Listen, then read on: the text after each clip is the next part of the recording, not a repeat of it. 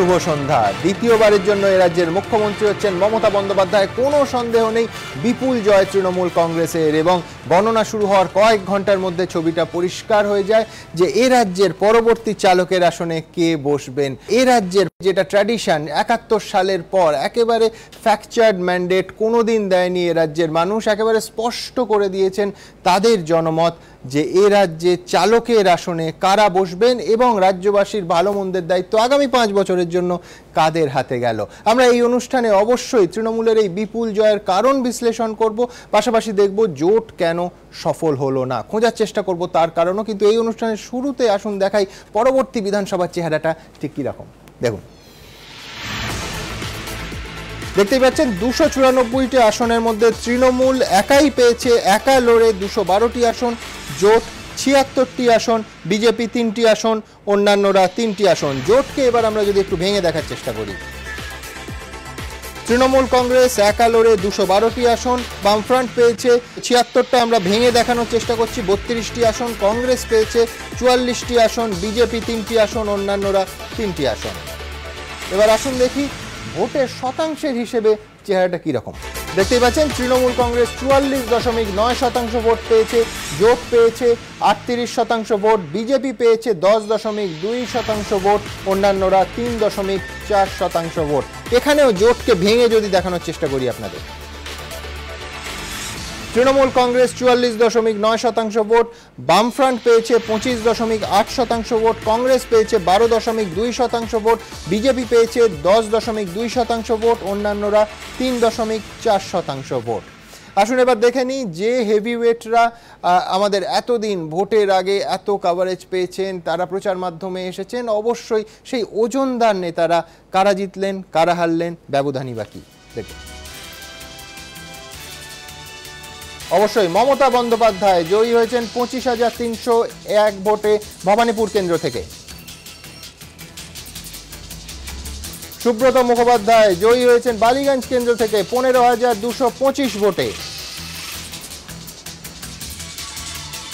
ফিরাদ হাকিম কলকাতা বন্দর কেন্দ্র থেকে জয়ী হয়েছেন ছাব্বিশ হাজার পাঁচশো সাতচল্লিশ ভোটে। পার্থ চট্টোপাধ্যায় জয়ী হয়েছেন বেহালা পশ্চিম কেন্দ্র থেকে ন হাজার উনত্রিশ ভোটে।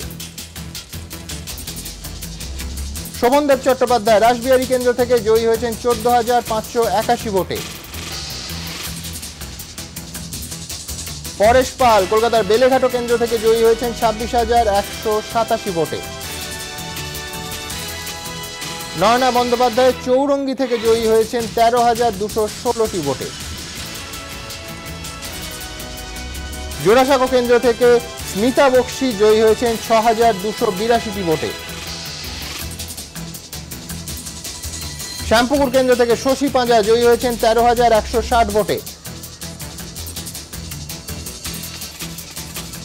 কাশীপুর বেলগাছিয়া কেন্দ্র থেকে মালা সাহা জয়ী হয়েছেন পঁচিশ হাজার আটশো বিয়াল্লিশটি ভোটে। টালিগঞ্জ কেন্দ্র থেকে অরূপ বিশ্বাস জয়ী হয়েছেন ন হাজার আটশো ছিয়ানব্বইটি ভোটে। বেহালা পূর্ব কেন্দ্র থেকে শোভন চট্টোপাধ্যায় কলকাতার মেয়র ভোটে জয়ী হয়েছেন চব্বিশ হাজার চারশো আটষট্টিটি ভোটে। খর্দা থেকে অমিত মিত্র জয়ী হয়েছেন একুশ হাজার দুশোটি ভোটে। চাঁদদানি কেন্দ্র থেকে আব্দুল মান্নান জয়ী হয়েছেন সাত হাজার দুশো বিরাশিটি ভোটে। সবং কেন্দ্র থেকে মানস ভূঁইয়া জয়ী হয়েছেন উনিশ হাজার দুশো তেত্রিশটি ভোটে। দমদম উত্তর কেন্দ্র থেকে তন্ময় ভট্টাচার্য জয়ী হয়েছেন ছ হাজার পাঁচশো উনপঞ্চাশটি ভোটে। যাদবপুর কেন্দ্র থেকে সুজন চক্রবর্তী জয়ী হয়েছেন চোদ্দ হাজার নশো বিয়াল্লিশটি ভোটে। এবার যে মন্ত্রীরা শেষ পর্যন্ত এই সংসদীয় পদ্ধতিতে নির্বাচনের বাধা টপকাতে পারলেন না, অর্থাৎ সোজা কথায় যে মন্ত্রীরা হেরে গেলেন, দেখাবো। দমদম উত্তরে চন্দ্রিমা ভট্টাচার্য আইনমন্ত্রী ছিলেন, বিদায়ী মন্ত্রিসভার পরাজিত হয়েছেন। যাদবপুর কেন্দ্র থেকে মনীষ গুপ্ত বিদ্যুৎ মন্ত্রী রাজ্যের পরাজিত হয়েছেন। ইংরেজ বাজার কেন্দ্র থেকে কৃষ্ণেন্দু নারায়ণ চৌধুরী পরাজিত হয়েছেন। বিধানসভা কেন্দ্র মানিকচক, সেখানকার মন্ত্রী সাবিত্রী মিত্র পরাজিত হয়েছেন। বাগদা কেন্দ্র থেকে উপেন্দ্রনাথ বিশ্বাস, উপেন বিশ্বাস নামে বেশি পরিচিত, পরাজিত হয়েছেন। বিষ্ণুপুর কেন্দ্র থেকে শ্যামাপ্রসাদ মুখোপাধ্যায় শ্যামা পদ না প্রসাদ, সে নিয়ে একটা বিতর্ক মাঝে নিশ্চয়ই মাথাচাড়া দিয়ে উঠেছিল, তিনিও পরাজিত হয়েছেন। ইসলামপুর কেন্দ্র থেকে আব্দুল করিম চৌধুরী পরাজিত হয়েছেন। এবার বিরোধী পক্ষে যারা হেভিওয়েট নেতা তাদের ভাগ্যে কি দেখা গেল? নারায়ণগড়ে সূর্যকান্ত মিশ্র অবশ্যই বামফ্রন্টের মুখ এবং জোটেরও মুখ বতে পরাজিত হয়েছেন তেরো হাজার একশো তিরাশিটি ভোটে।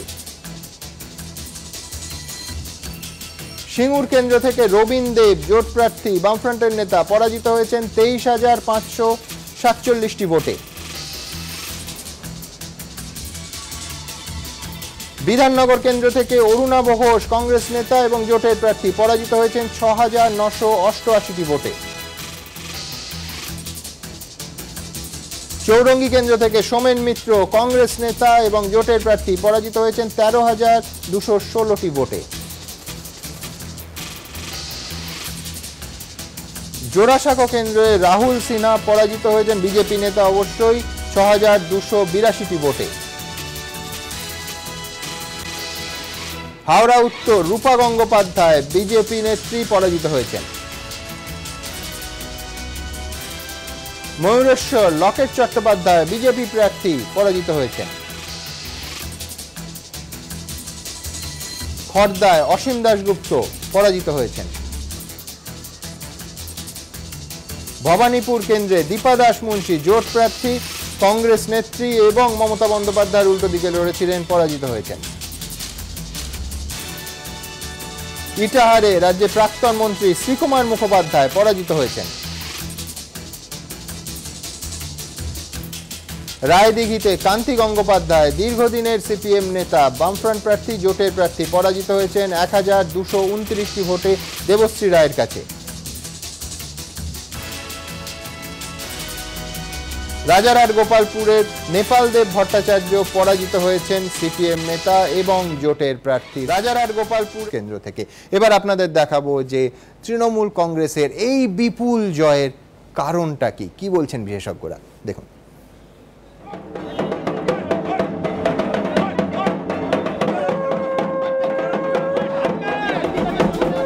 বাংলার বিধান ফের তৃণমূলের পক্ষে। ডাবল সেঞ্চুরি করে সিংহাসনে আবার মমতা বন্দ্যোপাধ্যায়। তৃণমূলের এই বিপুল জয়ের পেছনে কি কি ফ্যাক্টর কাজ করেছে, এ নিয়ে রাজনৈতিক মহলে শুরু হয়ে গিয়েছে কাটাছেরা পর্যবেক্ষকদের একাংশের বক্তব্য, তৃণমূলের সাফল্যের পেছনে বিজেপি ফ্যাক্টরও কিছুটা কাজ করে থাকতে পারে। গত লোকসভা ভোটে বিজেপি পেয়েছিল প্রায় সতেরো শতাংশ ভোট। এবার তারা ভোট পেয়েছে প্রায় দশ শতাংশ। অর্থাৎ বিজেপির ভোট কমেছে প্রায় সাত শতাংশ। এবারের ভোটের ফল দেখে বিশেষজ্ঞদের একাংশের প্রাথমিকভাবে মনে হয়েছে বিজেপির এই ভোটের সিংহভাগ গিয়েছে তৃণমূলের দিকে। তৃণমূল লোকসভায় পেয়েছিল প্রায় চল্লিশ শতাংশ ভোট। এবার তা বেড়ে হয়েছে প্রায় পঁয়তাল্লিশ শতাংশ। অর্থাৎ বিজেপির কমেছে প্রায় সাত শতাংশ ভোট। তৃণমূলের বেড়েছে পাঁচ শতাংশ ভোট। অনেকের এও দাবি, বিজেপি বেশ কিছু আসনে বিরোধী ভোট কাটায় তৃণমূলের সুবিধে হয়েছে। তৃণমূল এবং বিজেপির মধ্যে অন্তপক্ষে দশ বারোটা আসনে একটা বোঝাপড়া হয়েছে। খড়গপুর একটা খুব শহর, একটা বড় উদাহরণ, আরও অনেকগুলো উদাহরণ আছে। মালদা মুর্শিদাবাদ চিরদিনই কংগ্রেসের গড় বলে পরিচিত।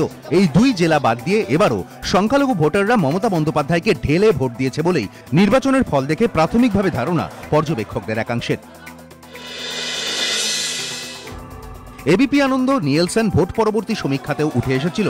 গ্রামীণ বাংলা এখনও মমতা বন্দ্যোপাধ্যায়েরই পাশে। ভোটের ফল থেকেও তা স্পষ্ট হয়ে গিয়েছে। পর্যবেক্ষকদের একাংশের মতে, বাংলা জয়ে যেমন আগে গ্রাম বাংলা জয় করতে হয়, তেমনি শহরে ভালো ফল করতে হলে কলোনি ও ঝুপড়িবাসীদের সমর্থন পাওয়া জরুরি, যেটা এবারও মমতা পেয়েছেন বলে ধারণা পর্যবেক্ষকদের একাংশের। তৃণমূলের কাণ্ডারি কে তা সবাই জানে, কিন্তু জোটের সেনাপতি কে? জোট জিতলে কে হবেন মুখ্যমন্ত্রী?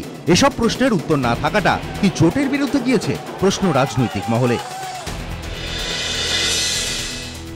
আরও আগেই কি জোট বেঁধে ঝাঁপানো উচিত ছিল সিপিএম কংগ্রেসের? দেরি করেই কি কাল হলো? সেই কারণেই কি মমতা ঝড়ের সামনে খড়কুটোর মতো উড়ে গেল জোট? এই প্রশ্ন উঠছে রাজনৈতিক মহলে।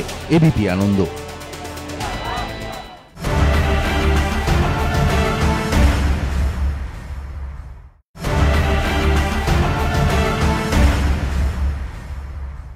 আজকে এই অনুষ্ঠান বিজনকে দিয়ে শুরু করব। বিজন আমি তোমার তিনটে তৃণমূলের জয়ের কারণ বলছি তুমি চতুর্থ পঞ্চম এবং ষষ্ঠটা তোমার কি মনে হয় বলো? প্রথম কারণ মমতা বন্দ্যোপাধ্যায় দ্বিতীয় কারণ মমতা বন্দ্যোপাধ্যায় তৃতীয় কারণ মমতা বন্দ্যোপাধ্যায়। একদমই। না না আমি পরেরটা একদমই তো বুঝলাম ওই জন্য তো বললাম আমি। আমি পরের চতুর্থ পঞ্চম এবং ষষ্ঠটা কি? চতুর্থ পঞ্চম এবং ষষ্ঠ অবশ্যই করে উন্নয়ন একটা বিরাট বিষয়।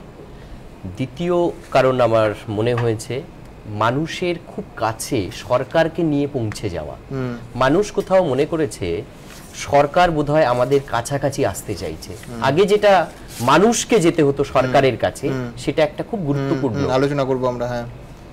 তৃতীয় তৃতীয় কারণ আমার কাছে মনে হয়েছে যতই বলুক যে গণতন্ত্র নেই নেই করছিল যারা আমি বলব বাহাত্তর সাতাত্তরের গণ মানে গণতন্ত্র যখন ছিল না বামেরা সেইটা দেখিয়ে বারবার প্রচার করেছে।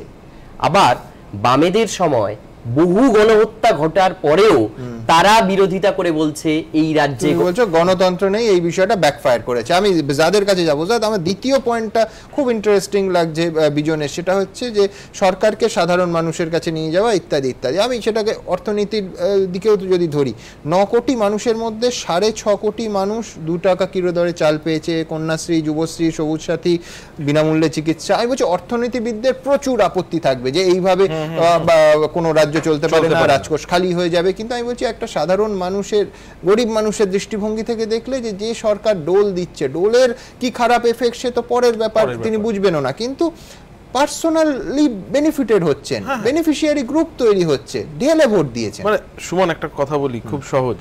রাস্তায় বেশি হকার বসা উচিত না কম? মমতা বন্দ্যোপাধ্যায় একটা চয়েস করেছেন যে বেশি বসা উচিত তার কারণ জীবিকা নেই অন্য লোক বলবে যে রাস্তা ব্লক হচ্ছে ট্রাফিক আটকে যাচ্ছে শহর সচল থাকছে না। কিন্তু উনি একটা চয়েস করেছেন। দু টাকা অফিসিয়ালি কার্ড দিয়ে কার্ড দিয়ে দিয়েছেন এবং দু টাকা চাল থেকে আরম্ভ করে বিদ্যুতের কানেকশন থেকে আরম্ভ করে সবকিছু নিজের একটা ভোট বেস উনি তৈরি করেছেন। তার ফলে টিএমসির যদি বলেন ডোল পলিটিক্স ডোল পলিটিক্স যদি বলেন নিজের কনস্টিটুয়েন্সি বানানোর যে পলিটিক্স যদি বলেন গরিব গণতন্ত্রে এরকম হবে তাহলে সেইটা এইটা একটা গুরুত্বপূর্ণ। কিন্তু আমার তার থেকেও বেশি মনে হয়েছে যে এই নির্বাচনে টিএমসি যে প্রভূত যে জয়টা পেয়েছে তার কারণ কোথাও একটা জোটটা ক্লিক করল আমি আসব। পর্যায়ে পর্যায়ে আসব। অবশ্যই জোট কেন ক্লিক করল না তার বিশ্লেষণে আসব। আপনাদের জানিয়ে রাখি যে আমাদের ওয়ার রুমে এখনও এই মুহূর্তেও কাজ চলছে। তার কারণ নির্বাচন কমিশন থেকে একেবারে আনুষ্ঠানিকভাবে যে তথ্য পরিসংখ্যান আমাদের কাছে আসছে, আমার টিম এই মুহূর্তে বসে সেই তথ্য পরিসংখ্যানের বিশ্লেষণ করছে। বিশ্বনাথ বাবু আমাদের এখানে রয়েছেন। বিশ্বনাথ বাবু আমি পরিষ্কার, আমি শুরুতেই আপনার কাছে যেটা জানতে চাইব সেটা হচ্ছে একদিকে যেমন জোটের না ক্লিক করা, অন্যদিকে সেই মানুষগুলো বিজয়ী হয়েছেন। যারা দলের অপেক্ষা করেননি মানে আমি আপনাকে দুটো উদাহরণ দিচ্ছি, আব্দুল মান্নান এবং সুজন চক্রবর্তী, যারা হয়তো এই অনুষ্ঠানেও যোগ দেবেন কিছুক্ষণের মধ্যে। দুজনকেই আমরা দেখেছি যখন অফিসিয়ালি কংগ্রেস সারদা নিয়ে রাস্তায় নামেনি যখন সিপিএম রাস্তায় নামেনি এরা নেবেছেন এবং নিজেদের মতো করে হয়তো প্রতি জনসভায় প্রতি মিছিলে লোক হয়নি তা সত্ত্বেও নেবেছেন মানে বিরোধী আন্দোলনটা করে গেছেন। আমার প্রথম প্রশ্ন একটা চমৎকার সংস্কৃতে কথা আছে স্বধর্মে নিধনং শ্র- শ্রেয় পরধর্ম ভয়াবহ। মানে বিরোধীদের যে স্বধর্ম যে স্বধর্ম এবং বিরোধী ধর্মের ওপর আমার ধারণা মমতা বন্দ্যোপাধ্যায় বই লিখতে পারেন পিএইচডি পেতে পারেন তিনখানা। হ্যাঁ সেইটা যারা করেছেন যারা সেই পথে হেঁটেছেন তারা আজকে লাভ পেয়েছেন রাজনৈতিকভাবে। মানুষের রায় তাদের পক্ষে গেছে। প্রথম যেটা এই বাজারেও। একেবারে যে এই যে বামেরা ক্ষমতা হারানোর পর প্রথমেই বলল যে তিন বছর আমরা হলিডে করে দিলাম। তারপরে দেখা যাবে। ঠিক। তার মানে ভার্চুয়ালি বিরোধী ভূমিকা আপনি না পালন করে আপনি কি করলেন? একদম মানে শীত ঘুমে চলে গেলেন। তার ফলে বিরোধী শূন্য রাজনীতি একটা তৈরি হলো আর অন্যদিকে বিজেপিরও কিছুটা স্পেস দখল করল। ঠিক। কিন্তু তার মধ্যেও আলাদা কিছু মানুষ আমরা দেখতে পেলাম যে সারদা ইস্যুকে কেন্দ্র করে কিন্তু আমরা লক্ষ্য করলাম যে সুজন চক্রবর্তীর মতন মানুষ আব্দুল মান্নার মতন মানুষ তারা একটা আলাদা ভূমিকা নিতে চাইলেন। সংগঠনের বাইরে থেকেও ব্যক্তিগত মানুষের সাথে মানুষের ভাবনায়। আবার অশোক ভট্টাচার্য সেখানেও একটা সামগ্রিকভাবে মানুষের সাথে সঙ্গে নিয়ে একটা জোট ভাবনা মানে প্রতিবাদ আন্দোলন। একেবারে আবার আপনি যদি হাওড়ার যে আজকে একটা মানে কঠিনতম লড়াইয়ে অসিত মিত্রর মতন প্রার্থী জিতলেন আমতা থেকে ভাবা যায় না যেখানে থেকে জিতেছেন। তার কারণ অসিত মিত্র দৈনন্দিন রাজনীতি আমরা যারা জানি এত নিবিড়ভাবে যুক্ত। ফলে কোনো একটা জায়গায় আপনি মানুষের সাথে আছেন কিনা মানুষের সাথে আন্দোলন করছেন কিনা বিরোধী ভূমিকা যেটা মানুষ আপনাকে পাঠিয়েছে সেই ভূমিকাটা আপনি পালন করলেন কিনা তার উপরে কিন্তু অনেকটাই নির্ভর করেছে সাফল্য ব্যর্থতা। আমি তিন চারটে বিষয় আমি আহ, দেখতে পাচ্ছি। দেখুন আমরা নির্বাচনের আগে দেখিয়েছিলাম যে থ্রি পার্সেন্ট বিজেপির ভোট যদি তৃণমূলের দিকে সুইং করে তাহলে কি হতে পারে? ঠিক একদম। দুশোর উপরে আসনও আসতে পারে আমরা বলেছিলাম। একদম। এবং আমি এখন কনস্টিটিউয়েন্সি ধরে ধরে যখন বিচার করছি তখন আমি দেখলাম যে সাত শতাংশ বিজেপির ভোট যেটা কমেছে সেটা কিন্তু একটা মানে তিন থেকে চার পার্সেন্ট ভোট কিন্তু তৃণমূলের শিবিরে যাওয়ার সম্ভাবনা হয়েছে। কেন? একটা হলো যে উনিশশো আটানব্বই সাল থেকে বিজেপি এবং তৃণমূল একত্রে তারা ছিলেন। ফলে কর্মী সমর্থকদের মধ্যে একটা পুরনো তাদের আন্ডারস্ট্যান্ডিং ছিল। একাধিক নির্বাচনে তারা সঙ্গী ছিলেন। হ্যাঁ হোমোজিনিয়াস একটা সম্পর্ক ছিল। হ্যাঁ। এবং তারা বামেদের বিরুদ্ধে তখন লড়াই করেছিলেন। আপনি যদি আটানব্বই লোকসভা নিরানব্বই লোকসভা দু হাজার তিনের পঞ্চায়েত দু হাজার চারের লোকসভা এগুলো দেখেন তাহলে দেখবেন যে, দীর্ঘদিনের একটা অভিজ্ঞতার মধ্যে দিয়ে কিন্তু তারা ছিলেন। ফলে তাদের কাছে যখন ভোটটা দেওয়ার প্রশ্ন আসছে মনে হচ্ছে বাম কংগ্রেসের থেকে বিজেপি বিজেপি কর্মী সমর্থকদের মনে হয়েছে যে না আমাদের তৃণমূল নেচারাল দ্বিতীয় যেটা সেটা হলো কমিউনিস্ট পার্টির সাধারণভাবে বিজেপি যে আইডিওলজি এবং কমিউনিস্ট আইডিওলজি তার ডিফারেন্স একটা কাজ করেছে। এবং তৃতীয় যেটা যে এই এই অ্যালায়েন্সের মধ্যে জোটের মধ্যে ছিল কংগ্রেস। যাদের ন্যাশনালি বিজেপির যারা হলো শত্রু বলা যায়। ফলে কংগ্রেসকেও ভোট দেওয়ার জন্য ওরা কিন্তু উৎপেত ছিল না। ফলে এটা- এটা গেল একটা দিক। আমি দুটো আর একটা জিনিস দেখতে পাই।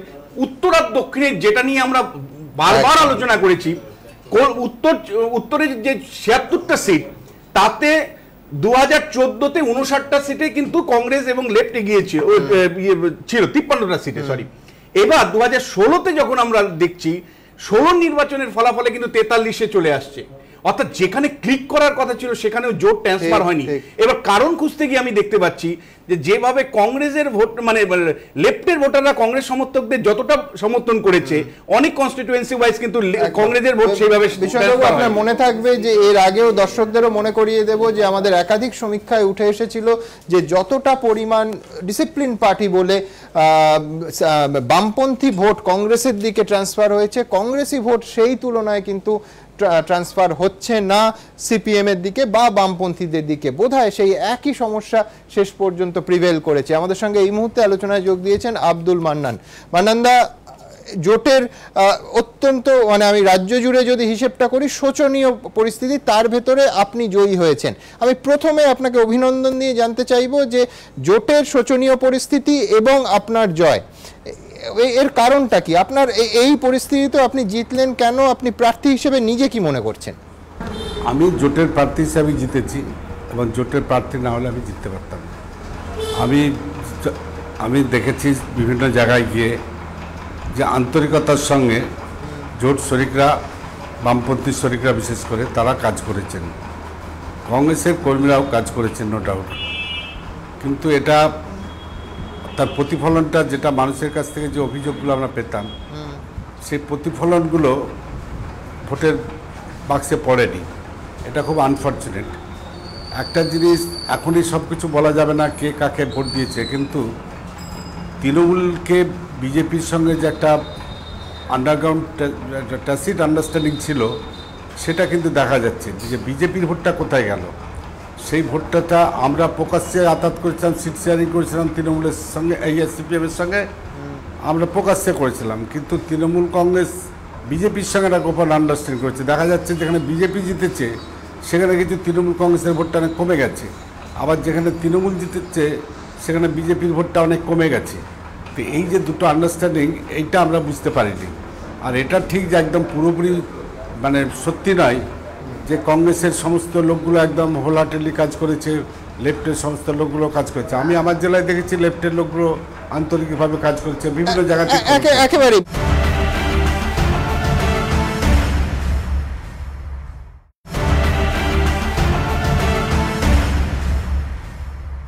বামপন্থীরা আন্তরিকভাবে কাজ করেছে। আপনি বলেছেন একাধিক কংগ্রেস প্রার্থীরা বলছেন এইখানে মান্নান্দা আপনার কাছে আমার প্রশ্ন থাকবে যে এই জোটের যে ফায়দাটা যে লাভটা রাজনৈতিক লাভটা সেটা কিন্তু কংগ্রেস পেয়েছে। আপনি দেখুন যে যদি আমি কংগ্রেসের সঙ্গে যখন তৃণমূল কংগ্রেসের জোট ছিল তখন কংগ্রেস বিয়াল্লিশটা আসন পেয়েছিল। বামফ্রন্টের সঙ্গে জোটে গেল সেটা বেড়ে পঁয়তাল্লিশটা হয়েছে। দু হাজার চোদ্দোর তুলনায় টু পার্সেন্ট ভোট গেন হয়েছে আপনাদের গোটা রাজ্য জুড়ে। মানে আমি যদি এই এই কনক্লুশনে পৌঁছই যে এই জোটের সুফলটা, রাজনৈতিক সুফলটা বামপন্থীরা পায়নি, কংগ্রেস পেয়েছে। আপনি মানবেন? তথ্য পরিসংখ্যান তাই বলছে। না না, আমি আমি আমি, আমরা তো একটা উদ্দেশ্য নিয়ে জোট করেছিলাম। সেই সুফলটা তো আমরা, সেই উদ্দেশ্যটা সফল করতে পারলাম না। আমরা চেয়েছিলাম যে আজকে যে ইস্যুগুলো আমরা তুলেছিলাম, যে চিট ফান্ডে সাফারারদের টাকা ফেরত দেবো, আমরা উভয় পক্ষ অঙ্গীকার করেছিলাম। আমরা করেছিলাম গণতন্ত্র প্রতিষ্ঠা করব সন্ত্রাস বন্ধ করব। এই একটা কথা ইস্যু নিয়ে সিভিল সোসাইটি যে মুভমেন্ট করেছিল সেটা যে কারণগুলোর সঙ্গে জোট হয়েছিল সেই কারণগুলো তো রয়ে গেল ফলে আমরা জোটের সাফল্য কোন দলের কোন গোষ্ঠীর কতটা গ্রুপের কতটা হয়েছে সেইটা বিচার করার ক্ষেত্রে হ্যাঁ আপনি বিচ্ছিন্নভাবে সাফল্য ওইভাবে বিচার করছেন না। আমাদের দুর্ভাগ্য যারা জিতেছেন তাদের নিশ্চয় আমরা অভিনন্দন জানাবেন কিন্তু যারা জিতেছেন তাদের আমরা অভিনন্দন জানাচ্ছি কারণ গণতন্ত্রের সাফল্য এবং ব্যর্থতা জয় এবং পরাজয় দুটি গণতন্ত্রের জয়। ঠিক ঠিক একেবারে দু হাজার এক সালেও হয়েছিল। জোটটা ঠিক গ্রাসরুট লেভেলে হয়তো আমরা পেইন্টেড করতে পারিনি। দু হাজার এক সালে উল্টো হয়ে গেছিল। কিন্তু পরবর্তী ক্ষেত্রে যখন আমরা গ্রাসরুট লেভেলে পেইন্টেড করতে পারলাম তখন দু হাজার এগারো ঘরে গেল। এখানে যেটা হয়েছে যে জোটের যেমন ধরুন আপনি যদি জয়প্রকাশ নারায়ণের ব্যাপারটা দেখেন জয়প্রকাশ নারায়ণ তিন বছর ধরে কংগ্রেস বিরোধী আন্দোলনটা করে করে তারপরে হয়েছিল। সফল হয়েছিল সাতাত্তর সালে। ভিপি সিংহ যদি দেখেন, তিনিও দেখবেন চুরাশি সাতাশি সাল থেকে সাতাশি, অষ্টাশি, উননব্বই, তিন বছর ধরে আন্দোলন করে করে তবে কিন্তু সফল হয়েছিলেন। বিভিন্ন মেরুর লোককে এক কাটা করতে পেরেছিলেন। আমরা কিন্তু যখন জোটের কথাটা প্রথম থেকে বলেছি, অনেকেই বাধা দিয়েছেন। অনেকেই তখন জোটের কথা বললে আমাদের ব্যঙ্গ বিদ্রুপ করেছেন। আপনার কাছে আমার democracy শেষ প্রশ্ন সেটা হচ্ছে এই প্রাথমিক ব্যর্থতার পর এ রাজ্যে কংগ্রেস এবং বামপন্থীদের জোট কি থাকবে নাকি এই দু নির্বাচনে এই মে মাসেই তার সমাধি রচিত হলো? আমরা যদি রাজনৈতিক স্বার্থ সিদ্ধির জন্য যদি জোর না করে থাকি নিজেদের শুধু সিট বাড়াবার জন্য আমরা যদি মানুষের স্বার্থের কথা ভেবে থাকি মানুষেরকে রিলিফ দেওয়ার কথা ভেবে থাকি তাহলে এই জোট যতদিন না মানুষকে রিলিফ দিতে পারি, ততদিন এই জোটকে এগিয়ে নিয়ে যেতে হবে। জোটকে আরও সংঘবদ্ধ করতে হবে আরও শক্তিশালী করতে হবে আরও একদম গ্যাস্ট্রো লেভেলে পেন্টেড করতে হবে। তবেই কিন্তু আমরা পারব মানুষকে রিলিফ দিতে। তা নাহলে মানুষের কাছে আমরা প্রতারক হয়ে যাব। যে রাজনৈতিক দল জোটের পক্ষে থাকবেন না, মনে করবেন যে না, আমরা ভেঙে দিই, আমরা জোটের, আমাদের সিট যা হবার হয়ে গেছে, আর দরকার নেই। আমরা মনে করি মানুষ তাদের সুবিধাবাদী বলবে, মানুষ তাদের প্রতারক বলবে। অতএব মানুষের স্বার্থে যে মানুষ জোট চেয়েছিলেন, তাদের স্বার্থে যতদিন আমাদের লক্ষ্য পূরণ হয় ততদিন আমাদের জোটে থাকতে হবে। একসঙ্গে জোট করে থাকতে হবে। মান্নান্দা আপনাকে অনেক অনেক ধন্যবাদ। পাশাপাশি অভিনন্দন। সংসদীয় রাজনীতিতে সব থেকে বড় অবশ্যই ইয়ার্ডস্টিক যদি কিছু থাকে সেটা হচ্ছে নির্বাচনে জয়। আব্দুল মান্নান জয়ী হয়েছেন। আপনাদের দ্রুত দেখাবো যে বিষয়টা নিয়ে আলোচনা করছিলাম যে জোট জোট কেন ব্যর্থ হলো তার বিশ্লেষণ পাশাপাশি জোটের ভবিষ্যৎ যেটা নিয়ে প্রশ্নচিহ্ন উঠে গেছে। দেখুন। বাম কংগ্রেসের তক দখলের স্বপ্নে বড়সড় ধাক্কা দিল বিধানসভা নির্বাচনের ফল।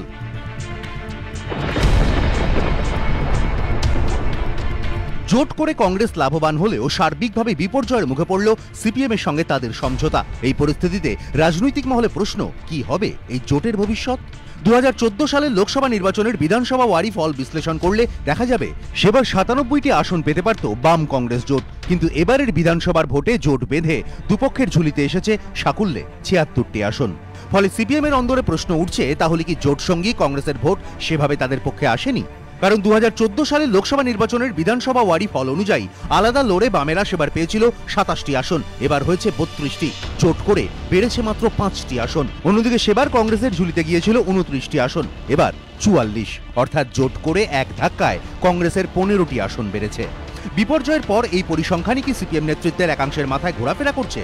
জল্পনা উস্কে, মোহাম্মদ সেলিমের মন্তব্য বামপন্থীরা যখন কাউকে সমর্থন করে তখন আমরা পুরোপুরি সমর্থন করি।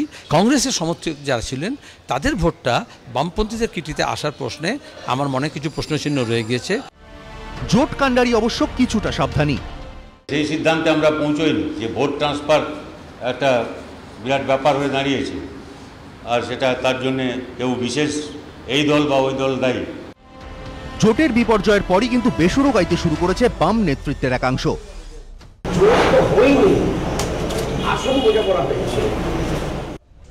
বিমান বসুর এই মন্তব্যের পরই জল্পনা শুরু হয়। তাহলে কি বিপর্যয়ের জন্য জোট করার সিদ্ধান্তকেই কাঠগড়ায় তুলছে Alimuddin?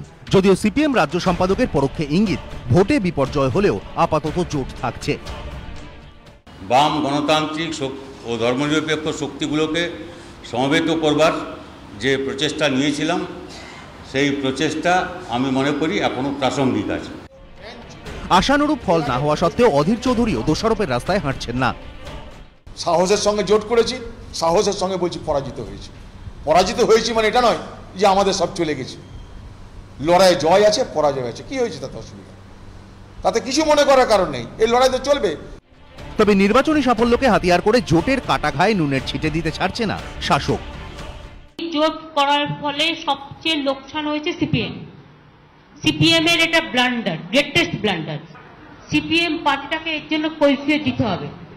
They have compromise with their ideology তৃণমূলকে সরিয়ে সরকার বদলানোর স্বপ্ন ভেঙে খান খান হয়েছে বাম কংগ্রেসের। এই পরিস্থিতিতে প্রশ্ন উঠছে, এমন বিপর্যয়ের পরও কি অটুট থাকবে তাদের জোট? গত কয়েক মাসে রাজ্যে ঐক্যের যেসব ছবি দেখা গিয়েছে, তা কি আগামী দিনেও দেখা যাবে? নাকি ফিকে হবে সম্পর্কের রং? রাজ্য রাজনীতিতে নয়া জল্পনা। বিতরু চট্টোপাধ্যায় ও আশাবুল হোসেন এবিপি আনন্দ কলকাতা। আমি চয়নবাবুর কাছে আসব। একদম মমতা বন্দ্যোপাধ্যায়ের কথা দিয়ে যে একদিকে উনি বলছেন যে জোট করে সিপিএম রাজ্য স্তরে ভুল করেছে এবং জোট করে কংগ্রেস জাতীয় স্তরে ভুল করেছে অর্থাৎ বন্ধু হারিয়েছে। আমি রাজ্য স্তরেই আসি আগে। জোট করে আপনারা আদর্শের সঙ্গে আপোষ করেছেন ভুল করেছেন। মমতা বন্দ্যোপাধ্যায় জয়ী হয়েছেন। শুভেচ্ছা জানাই। সুস্থ থাকুন, নিরোগ থাকুন। রাজ্যকে সুশাসন দেবার প্রতিশ্রুতি নিয়ে তিনি আবার এসছেন। রাজ্যকে সুশাসন দিতে পারবেন। এই শুভেচ্ছা জানাচ্ছি। কিন্তু আমাদের আদর্শের ব্যাপারে উনি কথাবার্তা না বলাই ওনার ভালো এই উপদেশটা উনি না দিলেও ভালো করতেন। আমরা ওনার আদর্শ নিয়ে কিন্তু কোনো উপদেশ দিতে চাইনি। উনি কিছু কিছু ব্যাপারে খুব অকপট থাকেন সাম্রাজ্যবাদ বোঝেন না আমাকে সাম্রাজ্যবাদ বোঝাতে আসবেন না, আমি বুঝি না এই ধরনের কথাবার্তা উনি বলেন। আমাদের আদর্শ নিয়ে ওনার গভীরতার বিষয়ে আমার অন্তত কিঞ্চিত সন্দেহ আছে।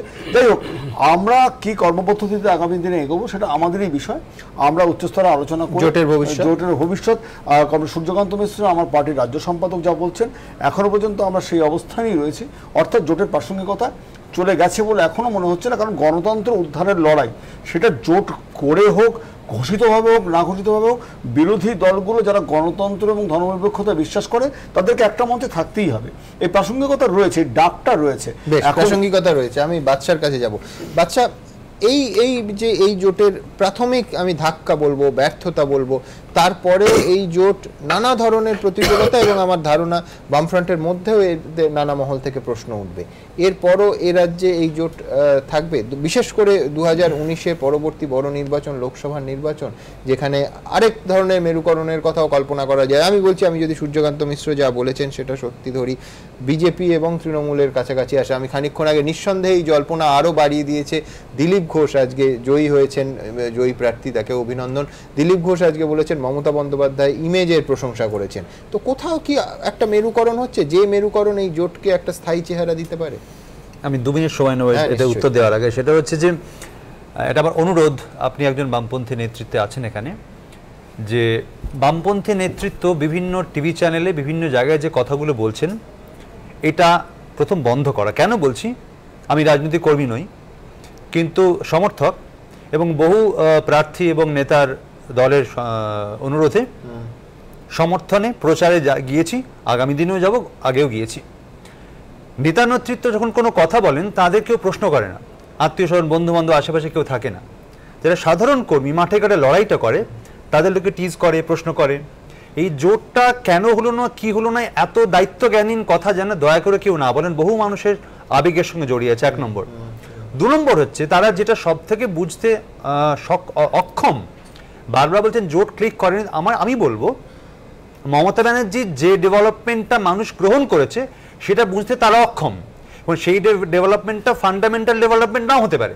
তাই বাড়ির সামনে রাস্তা লাইট দু টাকার চাল সেটা ফান্ডামেন্টাল ডেভেলপমেন্ট নাও হতে পারে। কিন্তু বামপন্থী নেতৃত্ব সেটা অ্যাড্রেসই করেনি।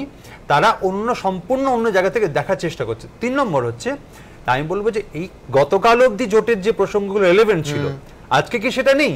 গণতন্ত্র উদ্ধার এসএসসি পরীক্ষা টেট কেলেঙ্কারি সব কি আজকে নেই? তাহলে কেন ভোটটা থাকবে বলো কাল অবধি একটা জোট ছিল একেবারে চোখের মনি আজকে আমি বলে দিয়েছি না না ওটা জোট না আসন সমঝোতা এটাকে তো সুবিধাবাদ বলে। একদম সুবিধা এবং এটা বামপন্থীদের কাছে এক্সপেক্টেড নয় এবং বলব যারা জোটটা করেছেন তাদের প্রত্যেককে অনুরোধ আমার যে আপনারা রাজ্যবাসীকে অন্তত এই দৃষ্টান্ত দেবেন না যে একটা নির্বাচনে জেতার জন্য আপনারা জোট করেছিলেন আমরা আপনাদের সমর্থন দিয়েছিলাম এখনও সমর্থন দিচ্ছি কিন্তু নৈতিকতার প্রশ্নে জোটটা প্রয়োজন ছিল যে কারণে আজকেও যেন সেটা থাকে। আমি দ্রুত একবার দেখব দিলীপ ঘোষের কথা আমরা বললাম, ঠিক কি বলেছেন? টিএমসি যিনি কর্ত্রী, মমতা দিদি, যার ব্যক্তিগত ইচ্ছা, অনিচ্ছা, ভালো মন্দই পার্টির ইচ্ছা, তার ব্যক্তিগত ইমেজ এখন অক্ষত আছে। কেউ তাকে ক্র্যাশ করতে পারেনি। তার পার্টির বহু নেতা কলুষিত হয়েছেন। কিন্তু মমতা ব্যানার্জি আজকে- আজকে এখনও পর্যন্ত তাকে ব্যক্তিগতভাবে কেউ অপবাদ দিতে প্রমাণিত করতে পারেনি। সেটাই তাদের কাছে বড় অস্ত্র হয়েছে। যতটা পড়া উঠেছিল, পড়া উচিত ছিল, আমার মনে হয় পড়েনি। মনে হয়েছিল পড়বে, কিন্তু মানুষ ওটা জানার পরেও বাধ্য হয়েছেন টিএমসিকে ভোট দিতে, কারণ তার চেয়ে ভালো আর অল্টারনেটিভ তারা পাননি। বিজেপি সেই জায়গাটা নিতে পারেনি, এটা বলতে আমাদের কোনো কষ্ট নেই। আপনারা শুনলেন বিজেপির রাজ্য সভাপতি দিলীপ ঘোষের বক্তব্য, আজকেই দিলীপ বাবু নির্বাচনে জয়ীও হয়েছে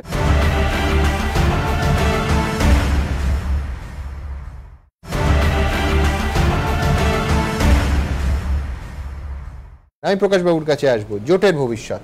এ রাজ্যে। এখন জোটের ভবিষ্যৎ আমরা এখনও বলছি যে আমরা খুব অল্প সময়ের মধ্যে জোটটা করেছি। এটা তো একটা মানে আমাদের দুর্বলতা বলুন যাই বলুন। আমরা তো আর পাঁচ বছর আগে থেকে এরম রাস্তায় যাইনি। কিন্তু আমাদের সময়টা খুব কম ছিল। কিন্তু মানুষের ইচ্ছাটা আমরা পূরণ করেছি। এবং আজকের আমরা সমস্ত মানুষকে ধর্মনিরপেক্ষ জোট করেছি যারা ধর্মনিরপেক্ষ মানে শক্তির বিরুদ্ধে লড়াই করে। মানে যেরকম বিজেপির বিরুদ্ধে লড়াই সমস্ত আমরা এর তার বিরুদ্ধে আমরা দূর লড়াই করেছি। কিন্তু আমাদের খুব শর্ট টাইম ছিল। কিন্তু ধরুন নির্বাচনে জয় পরাজয় আছে। পরাজয়টা আমরা মেনে নিয়েছি। মানুষের রায়টা আমরা মেনে নিয়েছি। মানুষ যা রায় দিয়েছে মাথা পেতে নিতে হবে। এটা গণতন্ত্রের নিয়ম। তার মানে এই নয় যে আজকে দেখুন আমরা হয়তো চুয়াল্লিশটা সিট পেয়েছি। আজকে বামফ্রন্ট হয়তো কম পেয়েছে। কেন কম পেয়েছে এগুলো বিশ্লেষণ করতে হবে। আমরা এটাই বিশ্লেষণ করতে হবে। পার্টির মধ্যে আমাদের কালকের মিটিং ডেকেছেন আমাদের সভাপতি তিনটের সময়। আমরা যাব। যে নিশ্চয়ই আমাদের কি ভুল ত্রুটি ছিল মানুষের যেটা ইচ্ছা এটা তো আমরা ছেড়ে দিতে পারব না।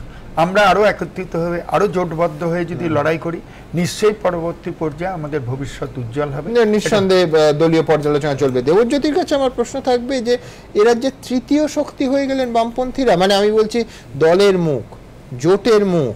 বামফ্রন্টের মুখ সূর্যকান্ত মিশ্র নিজেই হেরে গেলেন। আমি বলছি তৃণমূল নেতৃত্বের সঙ্গে একাধিকবার কথা হয়েছে মানে আমি বলছি এই রেজাল্ট তারাও সে সম্পর্কে নিশ্চিত ছিলেন না। মানে বিরোধী দলনেতার মর্যাদাটাও সিপিএম পাবে না বামফ্রন্ট পাবে না।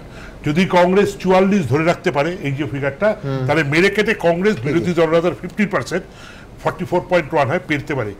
সিপিএম বিরোধী দলনেতা দলের পরিবর্তন পাবে এরকম বামফ্রন্টের অবস্থা আমাদের আমার তোমার সাংবাদিকতা তোমার থেকে আমারও একটু বেশি বয়স। আমার সাংবাদিকতার মধ্যে হয়নি। আমার সাংবাদিকতা সব সরকারে হয়নি যে একটা সিঙ্গেল পার্টি দুশোর উপর সিট পেয়ে বিধানসভায় ক্ষমতা সিঙ্গেল পার্টি কোনো জোট নয়।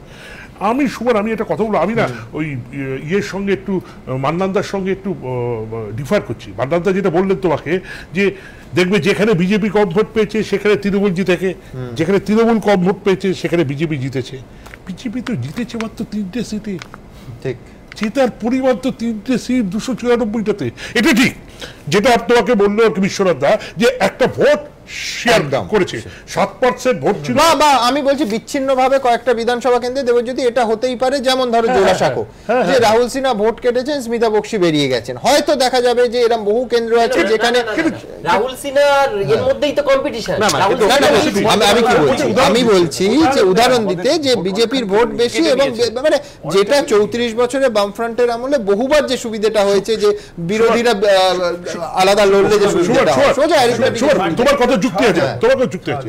বিজেপি দলটা ছেড়ে চলে যেতে হয়। Six point eight percent vote কমেছে বিজেপির এখন অব্দি মানে যেটা রুখতে মমতা বন্দ্যোপাধ্যায় মহাজোটের জাগ দিয়েছিলেন হ্যাঁ ঠিকই six point eight percent vote কমেছে বিজেপির সিক্স পয়েন্ট এইট পার্সেন্ট এখন অব্দি দুশো তেতাল্লিশটা সিটের এখন অব্দি হিসেব হয়েছে চুরানব্বইটা হয়নি। তার মধ্যে তৃণমূল গেইন করেছে ফাইভ পয়েন্ট ওয়ান পার্সেন্ট এটা ঠিক। কিন্তু আমি সুমান না একটু লাজ্জার ছবি বলছি।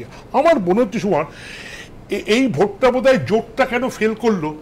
বিজেপির কতটা ভোট গেল, এটা নয়, এই ভোটটা বোধহয় মমতার পক্ষে একটা পজিটিভ ভোট হয়েছে।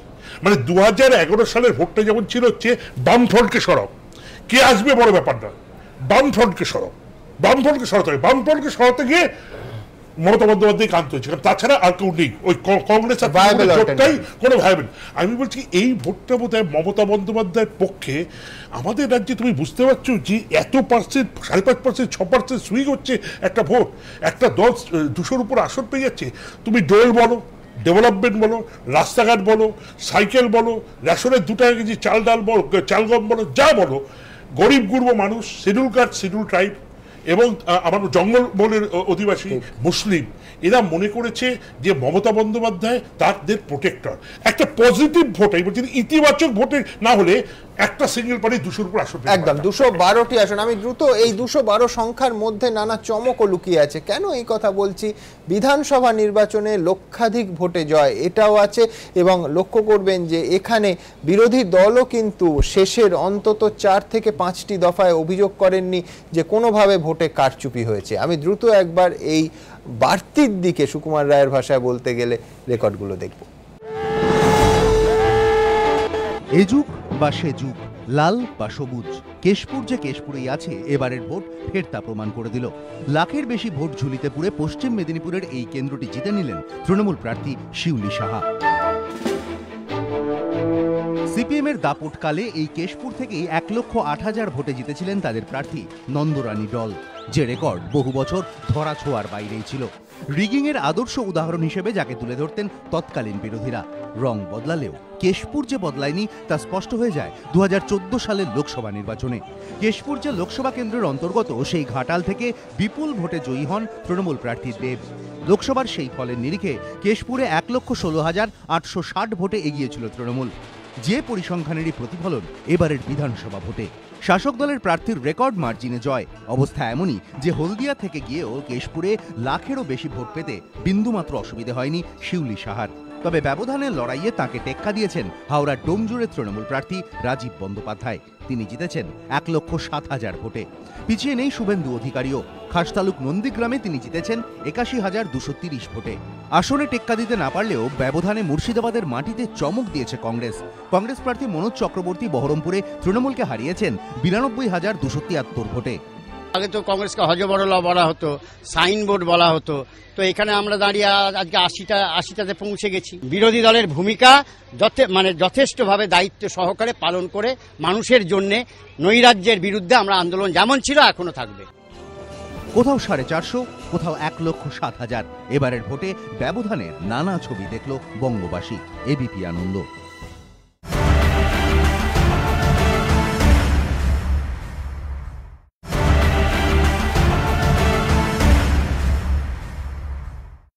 বিপুল জয় আপনারা দেখলেন, একেবারে রেকর্ড মার্জিনে জয় দেখলেন, কিন্তু সবার ভাগ্য একই রকম হয় না। সংসদীয় রাজনীতিতে জয়ের পাশাপাশি মুদ্রার উল্টো পিঠটাও থাকে, যেটা পরাজয়। অনেকেই, অনেক হেভিওয়েট নেতা, অনেক মন্ত্রীও এই বাধা টপকাতে পারলেন না। দেখুন।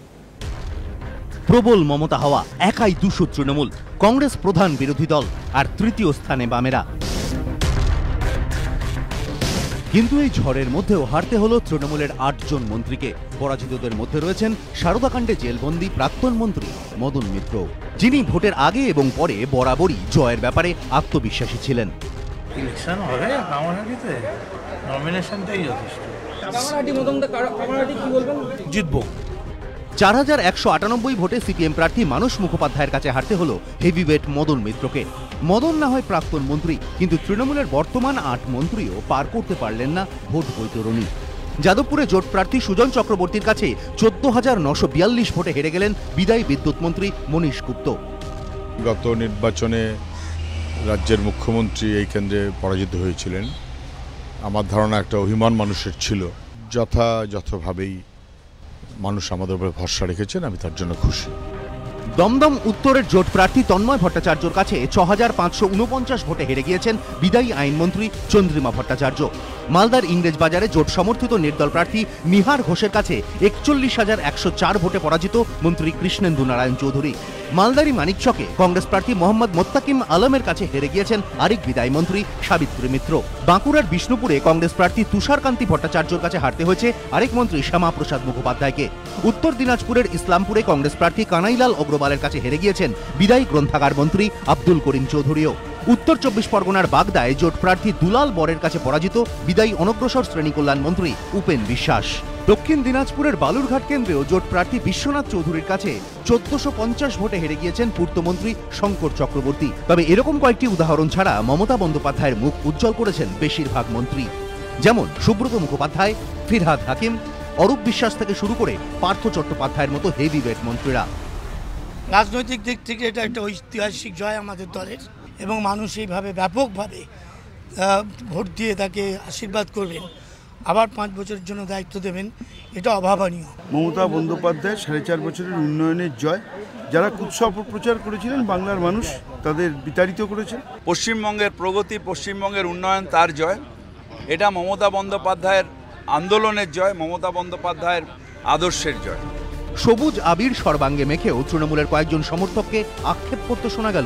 ইস যদি সব মন্ত্রীগুলোই জিতত তাহলে দুধে এক ফোঁটাও চোনা থাকতো না। এবিপি আনন্দ। জাত পজিটিভ ভোটে এই ফলাফল মানবে? আহ, আমার আহ, একটা অংশ হয়তো পজিটিভ কিন্তু আমার মনে কয়েকটা প্রশ্ন আছে। যেমন ধরুন এই যে জোটটা হলো জোটটা হলো নির্বাচনের প্রাককালে এবং এই জোটটা একসঙ্গে তৃণমূলের বিরুদ্ধে রাজনৈতিকভাবে সেরকম কোনো বড় আন্দোলন কিন্তু করেনি। সবচেয়ে বড় আন্দোলন হচ্ছে নির্বাচন লড়েছে। তার ফলে কিছু মানুষের মনে তো এই প্রশ্ন আজকে আমরা এই যে শোটা যখন করছি নির্বাচনে পরাজয় হয়েছে বলে জোটটা মোর স্ট্র্যাটেজিক মানে মানে মানুষের কেন্দ্রিক একটা জোট মানুষের মনে যদি এই প্রশ্নটা হয় যে এই জোটটা স্ট্র্যাটেজিক তার মানে এটার যেটা মমতা ব্যানার্জির যে অ্যাটাকটা যে হ্যাঁ। এইটা খালি সরকার গঠনের জন্য জোট সেটা দাঁড়িয়ে যাবে। সুবিধাবাদী জোট। এই জোটটাকে মমতা বন্দ্যোপাধ্যায়ের বিরুদ্ধে ক্রমাগত আন্দোলন করে ওই ক্রেডিবিলিটির জায়গাটা অর্জন করতে হবে।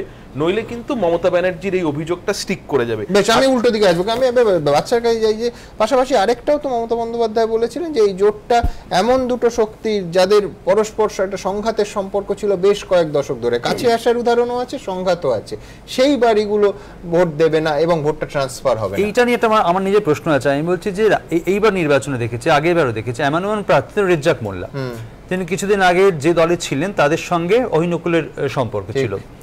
তিনি গেলেন বিপুল জয়লাভ করলেন। উদয়ন গুহ বিপুল জয়লাভ করলেন। এই যে একুশে ফেব্রুয়ারি এত শহীদ দিবস পালন হয় মনীষ গুপ্ত যাকে যাদের দায়ী করা হয় নৈতিকভাবে তার মধ্যে একজন বিপুল জয়লাভ করলেন। তো ওই কারণে তাকে গ্রহণ করেনি আমি- আমার এটা একদম মনে হয় না। আমি যাদের সঙ্গে একটা ব্যাপারে একমত যে কংগ্রেসের কর্মীরা বা বামেরা কোথাও ভাবতে পারে হয়তো কংগ্রেসের কর্মীরা বেশি ভেবেছে যে আগামী দিনে যদি এই জোটটা না থাকে আমরা কি উত্তর দেবো? আদৌ কি জোটটা থাকবে? একটু এবং সব থেকে বড় কথা যে প্রচারটা হচ্ছে যে কংগ্রেস গ্রহণ করতে পারেনি বামেদের আমি বলব এটা এটা সম্পর্কে কংগ্রেস এবং সিপিএম বামেদের সতর্ক থাকতে হবে। এই কারণে যদি এই জোটটা ভেঙে দেওয়া যায় দু হাজার আঠারোয় পঞ্চায়েত দু হাজার উনিশে লোকসভা নির্বাচন এই জোটটা যদি টিকে থাকে তাহলে বিজেপি তৃণমূল দুজনের সমস্যা আছে। যদি ভেঙে দেওয়া যায় খুব কায়দা করে এটা যদি ছড়িয়ে দেওয়া যায় তাহলে কিন্তু আখেরে কিন্তু এটা সুইসাইডাল হবে বাম এবং কংগ্রেসের জন্য। সেটা কিন্তু মাথায় রাখা উচিত। জেনারেল কোন নিয়ম কি এইজন্য করা যাবে এই জন্য কথাটা বলছি যে উপেন বিশ্বাস যার সততা প্রশ্নাতীত উপেন বিশ্বাস হেরে গেছেন। আবার মানে অন্যদিকে আমি যদি বাচ্চার ঠিক উল্টো উদাহরণটা ধরি যে নির্বেদ রায়। যিনিও এরকম দল বদলেছেন কংগ্রেস থেকে মমতা বন্দ্যোপাধ্যায় চরম ক্রিটিক থেকে মমতা বন্দ্যোপাধ্যায় দলে জোর দিয়েছেন তিনি হেরে গেছেন। মানে আমি বলছি যে এই নির্বাচনে এই ফলাফল দেখে এই তালিকা দেখে কোনো জেনারেল আসা তোমাকে বলছি তুমি যে এইবার তো প্যাকেজটা দেখলে আমার খুব ভালো করে হাসছিলাম এই সাবিত্রী মিত্র আর কৃষ্ণেন্দ্র চৌধুরী সারা জীবন দুজনে লড়ে গেল। ওই রকম সম্পর্ক। একজন মঞ্চে থাকলে আরেকজন মঞ্চ থেকে নেমে যায়। দুজনেই হেরেছে। তৃণমূলের মধ্যে কিন্তু এরকম গোষ্ঠীদ্বন্দ্ব আছে। তোমাকে টিকিট দিল। আচ্ছা আমার টিকিট পাওয়ার কারণে দিল না একটু গোজ দিয়ে দিল একজনকে। এগুলো আমার সব থেকে বদল বাদশারই এক সতীর্থ বিট্টু মানে আমাদের সোহম বটজলা হেরে গেছে এবং তার কারণ সোহমের জনপ্রিয়তা নয় মানে তৃণমূলের নেতারাই বলছেন যে অন্তর্দ্বন্দ্ব। হ্যাঁ, কিন্তু আমি তোমাকে একটা কথা বলছি আমি দেখো এই বাজারে যদিও খুব একটা রেজাল্টে তাতে বিন্দুমাত্র হেরফের হতো না এই যে বন্ধুত্বপূর্ণ লড়াই না বন্ধুত্বপূর্ণ লড়াই বলে কিছু হয় না। এটা একটা ভেগ ব্যাপার। কিন্তু দেখো জেটের জন্য জোটের জন্য যে মার্জিন কমেছে তো বেহালা ধরো অনেক হেভি ক্যান্ডিডেট তৃণমূলে। যাদের জয়েন্ট মার্জিন কমে গেছে। ডোল পলিটিক্স হ্যাঁ, হ্যাঁ, অবশ্যই। আমার আহ, মনে হচ্ছে এটা বোধহয় গ্রামের যারা গরিব মানুষ প্রান্তিক মানুষ তাদের কাছে বিশ্বাসযোগ্য হয়নি। সেই মানুষটি প্রশ্ন করতে চায় কলকাতায় যদি একটা বড় ব্রিজ তৈরি করা হয় কত হাজার কোটি টাকা খরচ হয়? কত শ কোটি টাকা খরচ হয়? আমার জানা নেই এরকম একটা সংখ্যা। না আমি বলছি সেইটা যদি গ্রামের- ধরো আমি বলছি সাধারণ রোল পলিটিক্সটা অনেক বড় বিষয়। আমি বলছি মানে আমি সাধারণ ভর্তুকি দিলে সেটা অর্থনীতির পক্ষে ভালো নয়। এইটাই তুমি গ্রামের যিনি বেনিফিশিয়ারি আমি তাকে কোনো অশ্রদ্ধা না করে বলছি তাকে তুমি বোঝাতে পারবে? যে ভর্তুকি দিলে আমার সারের দামটা কমছে। আমা- আমার আমার দারিদ্র্যে থাকা পরিবারটা একটু সাশ্রয় হচ্ছে। তুমি বোঝাতে পারবে? বলছি পপুলার পলিটিক্সের সুবিধে এবং অসুবিধে ওইখানে লুকিয়ে থাকে। হ্যাঁ। আমি আমি আমি বলছি আমি কিন্তু মানুষটাকে দোষ দেবো না। যে প্রশ্নটা তুলতে চেয়েছিলাম সেটা একদম অন্য।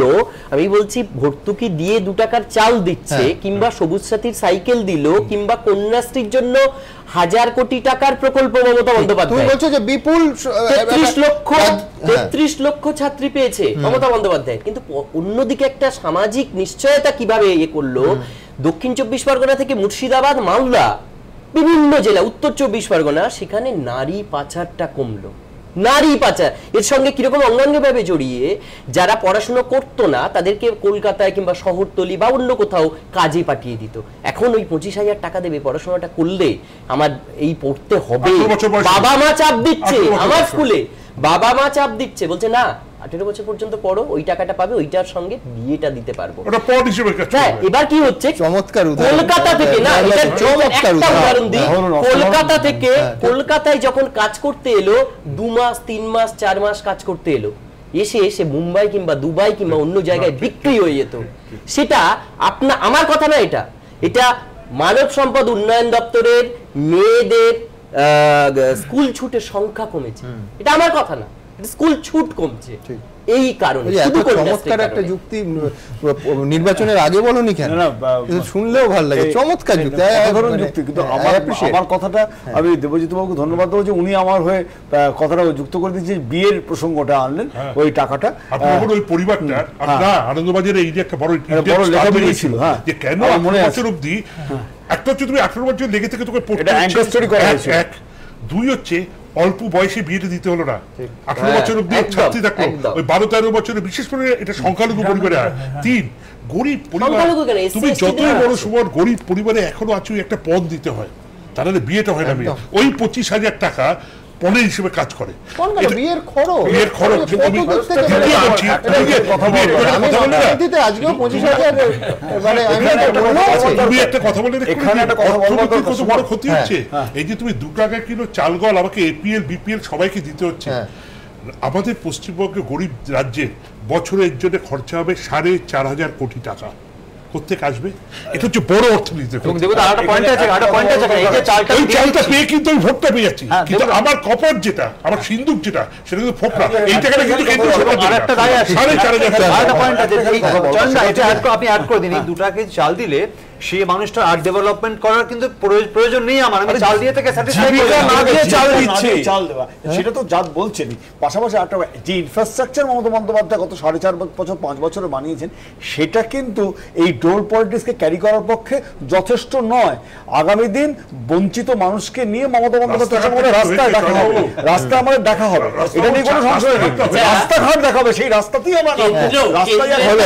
মমতা আমাদের। বন্দ্যোপাধ্যায় হ্যাঁ, একটা আমরা দাবি জানালেন, হ্যাঁ, রাজ্যের যে বঞ্চিত মানুষ একটা দাবি রইলেন, করলেন। ডোল পলিটিক্সের ক্ষেত্রে ডোল পলিটিক্সের ক্ষেত্রে একটা মুশকিল হচ্ছে ডোল পলিটিক্সটা বেশি দিন টানা যায় না। একটা অর্থনৈতিক যদি ব্যাকআপ না থাকে টানা যায় না। মমতা বন্দ্যোপাধ্যায় সে সোর্সের ব্যবস্থা করেননি। এবং দ্বিতীয় কথা এই যে বাজার অর্থনীতি নিয়ে আমরা বিড়ম্বনা হ্যাঁ, হয়েছে হ্যাঁ, না না জিতু বিড়ম্বনা তো হয়েছে। হয়েছে। আমাদের দেখা হবে রাস্তায়। আপনি। জীবিকাবিহীন মানুষকে নিয়ে আমরা রাস্তায় ওনার সঙ্গেই দেখা করব। সমস্যা নেই কিছু। এই পাঁচ বছর উনি যে স্বস্তিতে থাকবেন না আমরা এখনই জানিয়ে দিলাম। রাস্তায় দেখা হবে কিন্তু রাস্তাটা চকচকে হয়েছে। চকচকে রাস্তা ভালো, ভালো, ভালো। সুবিধা হবে হয়ে করতে সুবিধা হবে। তিন নম্বর পার্টি হয়ে গেছে হ্যাঁ, হ্যাঁ, সুবিধা হবে। হ্যাঁ। তিন নম্বর পার্টি হয়ে গেছে। রাজ্যের মুখ্যমন্ত্রী রাজ্যের মুখ্যমন্ত্রী দেশের প্রধানমন্ত্রীর কাছে একটা দাবি আমি আমি এটা একদম এই পয়েন্টে আসব কিন্তু তার আগে দ্রুত খানিকক্ষণ আগে আপনাদের দেখাবো বলেছিলাম যে জয়ের ব্যবধান অনেকেরই জয়ের ব্যবধান চোখে পড়ার মতো কমেছে। দেখুন। আবারও রাজ্যের মসনদে তৃণমূল। এই নিয়ে পরপর দুবার। দু হাজার এগারোর চেয়ে বেড়েছে আসনও একেবারে ডাবল সেঞ্চুরি কিন্তু এই বিপুল জয়ের মধ্যেও তৃণমূলের বহু হেভিওয়েট নেতা নেত্রীর জয়ের ব্যবধান কিন্তু গতবারের তুলনায় অনেকটাই কমেছে। দু হাজার এগারোয় রাজ্যে পালা বদলের পর উপনির্বাচনে মমতা বন্দ্যোপাধ্যায় জিতেছিলেন চুয়ান্ন হাজার দুশো ভোটে। এবার তার জয়ের ব্যবধান কমে হয়েছে পঁচিশ হাজার তিনশো এক। অর্থাৎ গতবারের তুলনায় এবার ব্যবধান কমেছে আঠাশ হাজার আটশো নিরানব্বই। বেহালা পশ্চিম কেন্দ্রের হেভিওয়েট প্রার্থী তথা তৃণমূলের মহাসচিব পার্থ চট্টোপাধ্যায়ের জয়ের ব্যবধানও এবার কমেছে। দু হাজার এগারো বিধানসভা ভোটে যেখানে উনষাট হাজার একুশ ভোটে জিতেছিলেন, সেখানে এবার তার জয়ের ব্যবধান কমে দাঁড়িয়েছে মাত্র ন হাজার উনত্রিশ। গতবারের তুলনায় উনপঞ্চাশ হাজার উনত্রিশ ভোটের ব্যবধান কমেছে। কলকাতার মেয়র শোভন চট্টোপাধ্যায় দু হাজার এগারোয় আটচল্লিশ হাজার একশো সাতাত্তর ভোটের ব্যবধানে জিতলেও এবার তা কমে দাঁড়িয়েছে চব্বিশ হাজার চারশো আটষট্টি। অর্থাৎ তাঁরও জয়ের ব্যবধান তেইশ হাজার সাতশো নয় ভোট কমেছে। গতবার একচল্লিশ হাজার একশো পঁচাশি ভোটে জিতেছিলেন সুব্রত মুখোপাধ্যায়। এবার তার জয়ের ব্যবধান কমে দাঁড়িয়েছে মাত্র পনেরো হাজার দুশো পঁচিশ। গতবারের তুলনায় পঁচিশ হাজার নশো ষাট কম। ভোট কমেছে বিধাননগরের তৃণমূল প্রার্থী সুজিত বসুর। গতবার সুজিত বসুর জয়ের ব্যবধান ছিল পঁয়ত্রিশ হাজার নশো তেতাল্লিশ, আর এবার তার জয়ের ব্যবধান কমে দাঁড়িয়েছে মাত্র ছ হাজার আটশো চোদ্দই। দু হাজার এগারো সালে ব্রাত্য বসুর জয়ের ব্যবধান ছিল একত্রিশ হাজার চারশো সাতানব্বই। সেখানে এবার সেই ব্যবধান কমে দাঁড়িয়েছে মাত্র ন হাজার তিনশো ষোলোয়। কিন্তু যেখানে আসন এক ধাক্কায় এত বাড়ল, সেখানে তৃণমূলের এই হেভিওয়েট প্রার্থীদের জয়ের ব্যবধান এত কমে যাওয়ার কারণ কি? এই প্রশ্নটাও উঠে গেল রাজনৈতিক মহলে। এবিপি আনন্দ। মনোজ চক্রবর্তী আমাদের সঙ্গে এই অনুষ্ঠানে যোগ দিয়েছেন। সরাসরি কথা বলব তার সঙ্গে। মনোজবাবু, আপনাকে প্রথমেই অভিনন্দন যে আমরা অনেক বড় মার্জিনের কথা বলছিলাম, তাতে অবশ্যই আপনার কেন্দ্রটাও ইনক্লুডেড হবে। তার কারণ একানব্বই হাজার নশো বিরাশিটা ভোটে আপনি জিতেছেন। অভিনন্দন আপনাকে। আমার প্রথম প্রশ্ন যে উত্তরবঙ্গের কিছুটা অংশে এবং দক্ষিণবঙ্গে এই যে বামপন্থীদের সঙ্গে কংগ্রেসের জোট সেটার পরিস্থিতি সেটার ফলাফল নিঃসন্দেহে শোচনীয় হলো। কেন বলে আপনার মনে হয়? আপনার বিশ্লেষণ কি?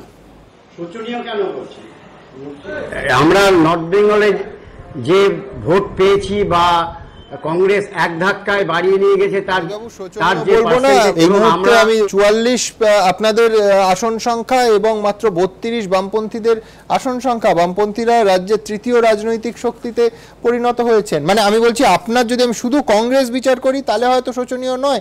তার কারণ দু হাজার এগারো কংগ্রেসের সঙ্গে তৃণমূলের যখন জোট ছিল তখন আপনারা বিয়াল্লিশটা আসন পেয়েছিলেন এবারে সেটা বেড়ে পঁয়তাল্লিশ। আমি যদি শতাংশ এখনও সম্পূর্ণ শতাংশ আসেনি নির্বাচন কমিশনের কাছ থেকে অন্তত দু শতাংশ ভোট কংগ্রেসের গেন হয়েছে। রাজনৈতিকভাবে কংগ্রেস লাভবান হয়েছে, এ নিয়ে সংশয়ের কোনো জায়গা নেই। কিন্তু জোট হিসেবে এটা সফল বলে মনে করবেন? আসন সংখ্যা একশো ছুঁতে পারল না। আমি বলি, এই যে সময়ের মধ্যে যে জায়গাতে আমরা কোনো কারণে যোগাযোগ বিচ্ছিন্ন হয়ে গেছে। আমাদের একটা ছোট্ট বিরতির সময় হয়ে গেছে। বিরতির পর আবার এই আলোচনায় ফিরবো এবং অবশ্যই টেলিভিশন সেটের সামনে যারা এই মুহূর্তে এসছেন, আরও একবার দেখাবো যে এই যে হেভিওয়েটরা কারা জিতলেন, কারা হারলেন, ব্যবধান কত এবং অবশ্যই এই পর্ব একটা ছোট্ট বিরতিতে যেতে যেতে বলব, দ্বিতীয়বারের জন্য এ রাজ্যের মুখ্যমন্ত্রী হচ্ছেন মমতা বন্দ্যোপাধ্যায়।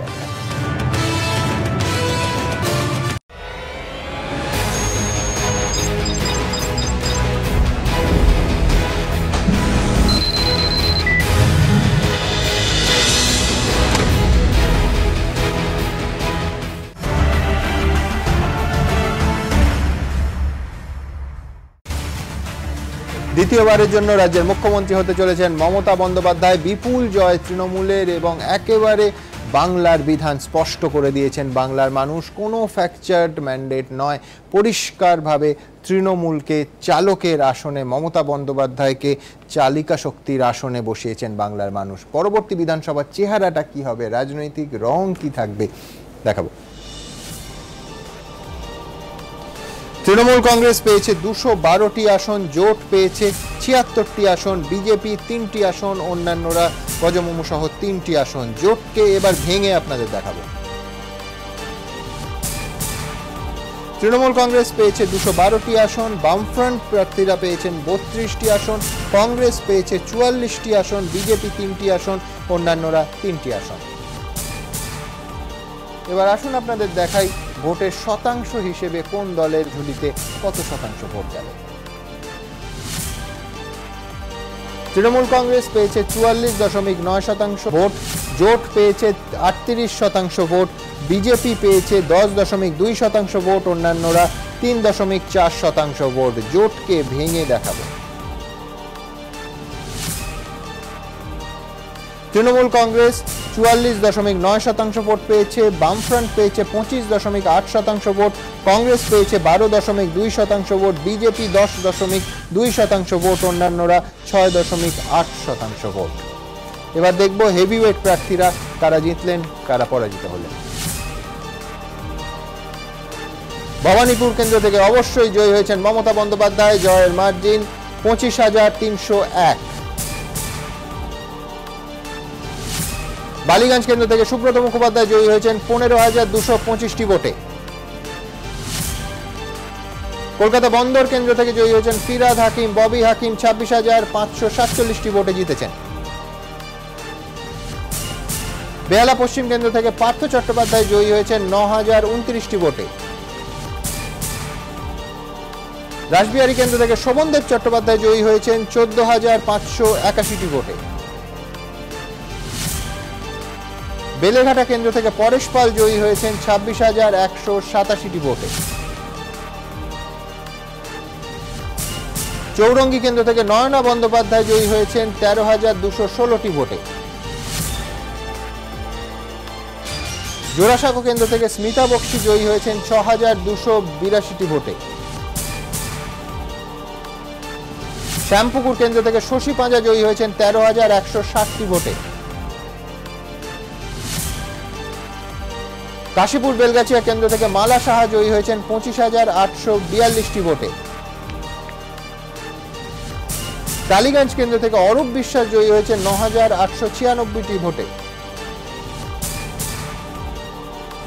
বেহালা পূর্ব কেন্দ্র থেকে শোভন চট্টোপাধ্যায় কলকাতার মেয়র জয়ী হয়েছেন চব্বিশ হাজার চারশো আটষট্টিটি ভোটে। খর্দা কেন্দ্র থেকে অমিত মিত্র জয়ী হয়েছেন একুশ হাজার দুশো ভোটে।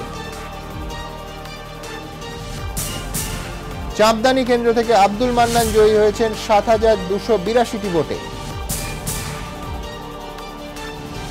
সবং কেন্দ্র থেকে মানস ভূঁইয়া জয়ী হয়েছেন উনিশ হাজার দুশো তেত্রিশটি ভোটে। দমদম উত্তর কেন্দ্র থেকে তন্ময় ভট্টাচার্য জয়ী হয়েছেন ছ হাজার পাঁচশো উনপঞ্চাশটি ভোটে। যাদবপুর কেন্দ্র থেকে সুজন চক্রবর্তী জয়ী হয়েছেন চোদ্দ হাজার নশো বিয়াল্লিশটি ভোটের ব্যবধানে।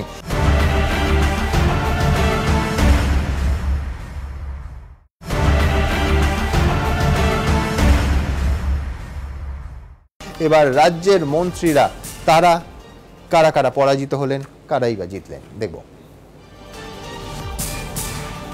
দমদম উত্তর কেন্দ্র থেকে চন্দ্রিমা ভট্টাচার্য পরাজিত হলেন ছ হাজার পাঁচশো উনপঞ্চাশটি ভোটের ব্যবধানে। যাদবপুর কেন্দ্রে মনীষ গুপ্ত বিদ্যুৎ মন্ত্রী পরাজিত হলেন চোদ্দ হাজার নশো বিয়াল্লিশটি ভোটের ব্যবধানে। ইংরেজবাজার কেন্দ্র থেকে কৃষ্ণেন্দু নারায়ণ চৌধুরী পরাজিত হলেন উনচল্লিশ হাজার সাতশো সাতাশটি ভোটের ব্যবধানে। মানিকচক কেন্দ্র থেকে সাবিত্রী মিত্র পরাজিত হলেন বারো হাজার ছশো তিন ভোটের ব্যবধানে। বাগদা কেন্দ্র থেকে উপেন্দ্রনাথ বিশ্বাস, উপেন বিশ্বাস পরাজিত হলেন বারো হাজার দুশো ছত্রিশটি ভোটে। বিষ্ণুপুর কেন্দ্র থেকে শ্যামাপ্রসাদ বা শ্যামাপদ মুখোপাধ্যায় পরাজিত হলেন আটশো একানব্বইটি ভোটে। ইসলামপুর কেন্দ্র থেকে আব্দুল করিম চৌধুরী সাত হাজার সাতশো আঠেরোটি ভোটে পরাজিত হলেন। এবার বিরোধী দলের যারা হেভিওয়েট রাজনীতিবিদ, তাদের এই সংসদীয় রাজনীতির যাত্রাপথে কি ছিল আজকে ভাগ্যে? দেখো নারায়ণগড়ে সূর্যকান্ত মিশ্র বামফ্রন্টের মুখ এবং অবশ্যই জোটের মুখ পরাজিত হলেন তেরো হাজার একশো তিরাশিটি ভোটের ব্যবধানে। সিঙ্গুর কেন্দ্রে রবীন্দ্র বামফ্রন্টের নেতা, জোটের প্রার্থী পরাজিত হলেন তেইশ হাজার পাঁচশো সাতচল্লিশটি ভোটের ব্যবধানে। বিধাননগর কেন্দ্র থেকে অরুণাভ ঘোষ জোট প্রার্থী কংগ্রেস নেতা পরাজিত হলেন ছ হাজার নশো অষ্টআশি ভোটের ব্যবধানে। চৌরঙ্গি কেন্দ্র থেকে সোমেন মিত্র পরাজিত হলেন তেরো হাজার দুশো ষোলোটি ভোটে। জোড়াসাঁকো কেন্দ্রে রাহুল সিনহা বিজেপি প্রার্থী পরাজিত হলেন ছ হাজার দুশো বিরাশিটি ভোটে। হাওড়া উত্তর কেন্দ্র থেকে রূপা গঙ্গোপাধ্যায় বিজেপি প্রার্থী পরাজিত হলেন তিরিশ হাজার পাঁচশো একটি ভোটের ব্যবধানে। ময়ূরেশ্বর কেন্দ্র থেকে লকেট চট্টোপাধ্যায় বিজেপির টিকিটে দাঁড়িয়েছিলেন তিপ্পান্ন হাজার আটশো একাশিটি ভোটে পরাজিত হলেন। হরদা কেন্দ্রে অসীম দাশগুপ্ত পরাজিত হলেন একুশ হাজার দুশোটি ভোটে। ভবানীপুর কেন্দ্রে দীপা দাস মুন্সি পরাজিত হলেন মমতা বন্দ্যোপাধ্যায়ের কাছে পঁচিশ হাজার তিনশো এক ভোটে। ইটাহার কেন্দ্রের শ্রীকুমার মুখোপাধ্যায় পরাজিত হলেন উনিশ হাজার একশো কুড়িটি ভোটে।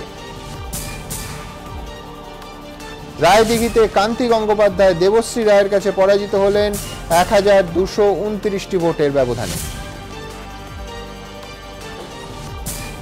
রাজারহাট গোপালপুর কেন্দ্রে নেপালদেব ভট্টাচার্য পরাজিত হলেন ছ হাজার আটশো সত্তরটি ভোটের ব্যবধানে। এবার আপনাদের দেখাবো একেবারে সব থেকে কম ভোটের ব্যবধানে জয় বা পরাজয় যেখানে নির্ধারিত হয়েছে, যাকে আমরা সোজা কথায় খুব স্থূলভাবে বলি কানের পাশ দিয়ে, সেরকম। দেখুন। মুরারই কেন্দ্রের আব্দুল রহমান জয়ী হয়েছেন মাত্র দুশো আশিটি ভোটের ব্যবধানে। রায়না কেন্দ্রে তৃণমূল কংগ্রেসের প্রার্থী নেপাল ঘরুই জয় জয়ী হয়েছেন চারশো আটচল্লিশটি ভোটের ব্যবধানে। মন্তেশ্বর কেন্দ্রের সজল পাঁজা তৃণমূল কংগ্রেস প্রার্থী ছশো সাতটি ভোটের ব্যবধানে জয়ী হয়েছেন। কাটোয়া কেন্দ্রে রবীন্দ্রনাথ চট্টোপাধ্যায় জয়ী হয়েছেন মাত্র নশো এগারোটি ভোটের ব্যবধানে। কিছুদিন আগে কংগ্রেস থেকে তৃণমূলে এসেছিলেন। কালচিনি কেন্দ্রের উইলসন চাম্পামারি তৃণমূল কংগ্রেস প্রার্থী জয়ী হয়েছেন এক হাজার দুশো এগারোটি ভোটের ব্যবধানে। রায়দিঘি কেন্দ্রে দেবশ্রী রায় জয়ী হয়েছেন এক হাজার দুশো উনত্রিশটি ভোটের ব্যবধানে। চন্দননগরে ইন্দ্রনীল সেন জয়ী হয়েছেন দু হাজার একশো পনেরোটি ভোটের ব্যবধানে। আমি আলোচনায় আসব এবং অবশ্যই প্রথমে সমীর বাবুকে দিয়ে শুরু করি। আজকে জয়ের দিন হ্যাঁ। শঙ্কর চক্রবর্তী। শঙ্কর চক্রবর্তী একজন মন্ত্রী হেরেছেন। হেরেছে সেটা আরেক প্রাক্তন মন্ত্রী। বাবু সকালে জিজ্ঞেস করেছিলাম কি রঙের পাঞ্জাবি আজ সন্ধ্যাবেলা পরে আসবেন? না সে তো বলেইছিলাম যে যত ভোট এগোচ্ছে তত পাঞ্জাবের রং আরও তীব্র হ্যাঁ, আমাদের একটা শিরোনাম এখন যাচ্ছে। ঘূর্ণিঝড়ের সতর্কবার্তা। রাজনৈতিক ঘূর্ণিঝড়ের কোনো সতর্কবার্তা ছিল না কিন্তু ঘূর্ণিঝড়ের নাম মমতা বন্দ্যোপাধ্যায়। একবারে সুপার সাইক্লোনই। এখন আর ঝড় থেকে মানে মানে জোটে জট তৈরিও হয়েছে সেই খবরও ধীরে ধীরে পাচ্ছি। তাতে আপনার হাসিও চওড়া হচ্ছে সব কিন্তু আমি বলছি যে নজিরবিহীন। দেখুন একা একা একটি দল লড়াই করে দুশো বারোটি আসন। কোনো সন্দেহের জায়গা নেই। কিন্তু আমি বলছি কঠোর সাহসী সিদ্ধান্ত। সকালেই আপনি এই চেয়ারে বসে বলছিলেন যে যেগুলো এই সময় দাঁড়িয়ে নেওয়া উচিত নেওয়া প্রয়োজন দলের স্বার্থে। ঠিক। আমি যেটা বলছি যে মমতা মাননীয় মমতা ব্যানার্জি সহ তৃণমূলের যে সমস্ত প্রার্থী জয়ী হয়েছেন তাদের প্রথমেই অভিনন্দন সাথে বিরোধীদেরও যারা জয়ী হয়েছেন তাদেরকেও অভিনন্দন জানাই। এবং বলব যে মানে মমতা ব্যানার্জির বিকল্প এই মুহূর্তে পশ্চিমবঙ্গের রাজনীতিতে যে নেই এটা এবারে ভোটে পরিষ্কার করেছেন উনি। মমতা ব্যানার্জির জনপ্রিয়তার জোয়ারে মানে একেবারেই মানে খড়কুটোর মতন বিরোধীরা উড়ে গেছে বলা যায়। এবং এটা স্বাভাবিক যেভাবে ভোটের আগে আমরা দেখছিলাম যে শুধু যে কোনো ইস্যুতেই মমতা ব্যানার্জি সহ তার দলকে যেভাবে জড়িয়ে দেওয়া হচ্ছিল সব ব্যাপারেই মানে সেটার আগে পিছিয়ে না জেনে বা তার তদন্ত পর্যন্ত ওয়েট না করে, এটা হয়তো মানুষের মনে গিয়ে একটা অন্য রিফ্লেক্ট করেছে। আমি সব বুঝলাম, কিন্তু আমি বলছি আমি তো উচ্ছ্বসিত এবং অভিনন্দনও জানাচ্ছি, কিন্তু কয়েকটা জিনিস আমি স্টিক করছি সমীরবাবু। এক হচ্ছে যে উনিশ তারিখের এই বিপুল জয় আজকের, এটা সমস্ত কিছু যে যে সংশয়, সন্দেহগুলো আছে, সেগুলোকে কিন্তু খড়কুটোর মধ্যে ওড়াতে পারবে না। কেন পারবে না আমি বলছি যে তোলাবাজি সিন্ডিকেট রাজ দুর্নীতি এগুলো কিন্তু রাজ্যের সমস্যা। মমতা বন্দ্যোপাধ্যায়কেই মুখ্যমন্ত্রী হিসেবে ফেস করতে হবে। আপনি এগ্রি করবেন নিশ্চয়ই আমার সঙ্গে। ব্রিজ ভেঙে যদি ২৬ জন মানুষের মৃত্যু হয় সেটা নিয়ে বিরোধীরা তাদের রাজনৈতিক ইস্যু করতে পারেন। কিন্তু আমি বলছি সেইটা দেখানোটা কোনোদিন কুৎসা হতে পারে না। ছাব্বিশটা মানুষ মারা গেছে। আপনার সাথে সকালেই আমি এটা একমত হ্যাঁ। হচ্ছিলাম।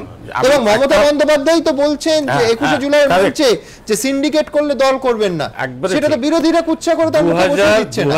সমস্যা তো হয়ে গেছে। এগারো সালে যে পরিবর্তনটা এসেছিল মমতা ব্যানার্জির হাত ধরে হ্যাঁ। এই যে প্রত্যাবর্তনটা হয়েছে না এতে সরকারের দায় এবং দায়িত্ব আরও বেড়ে গেল।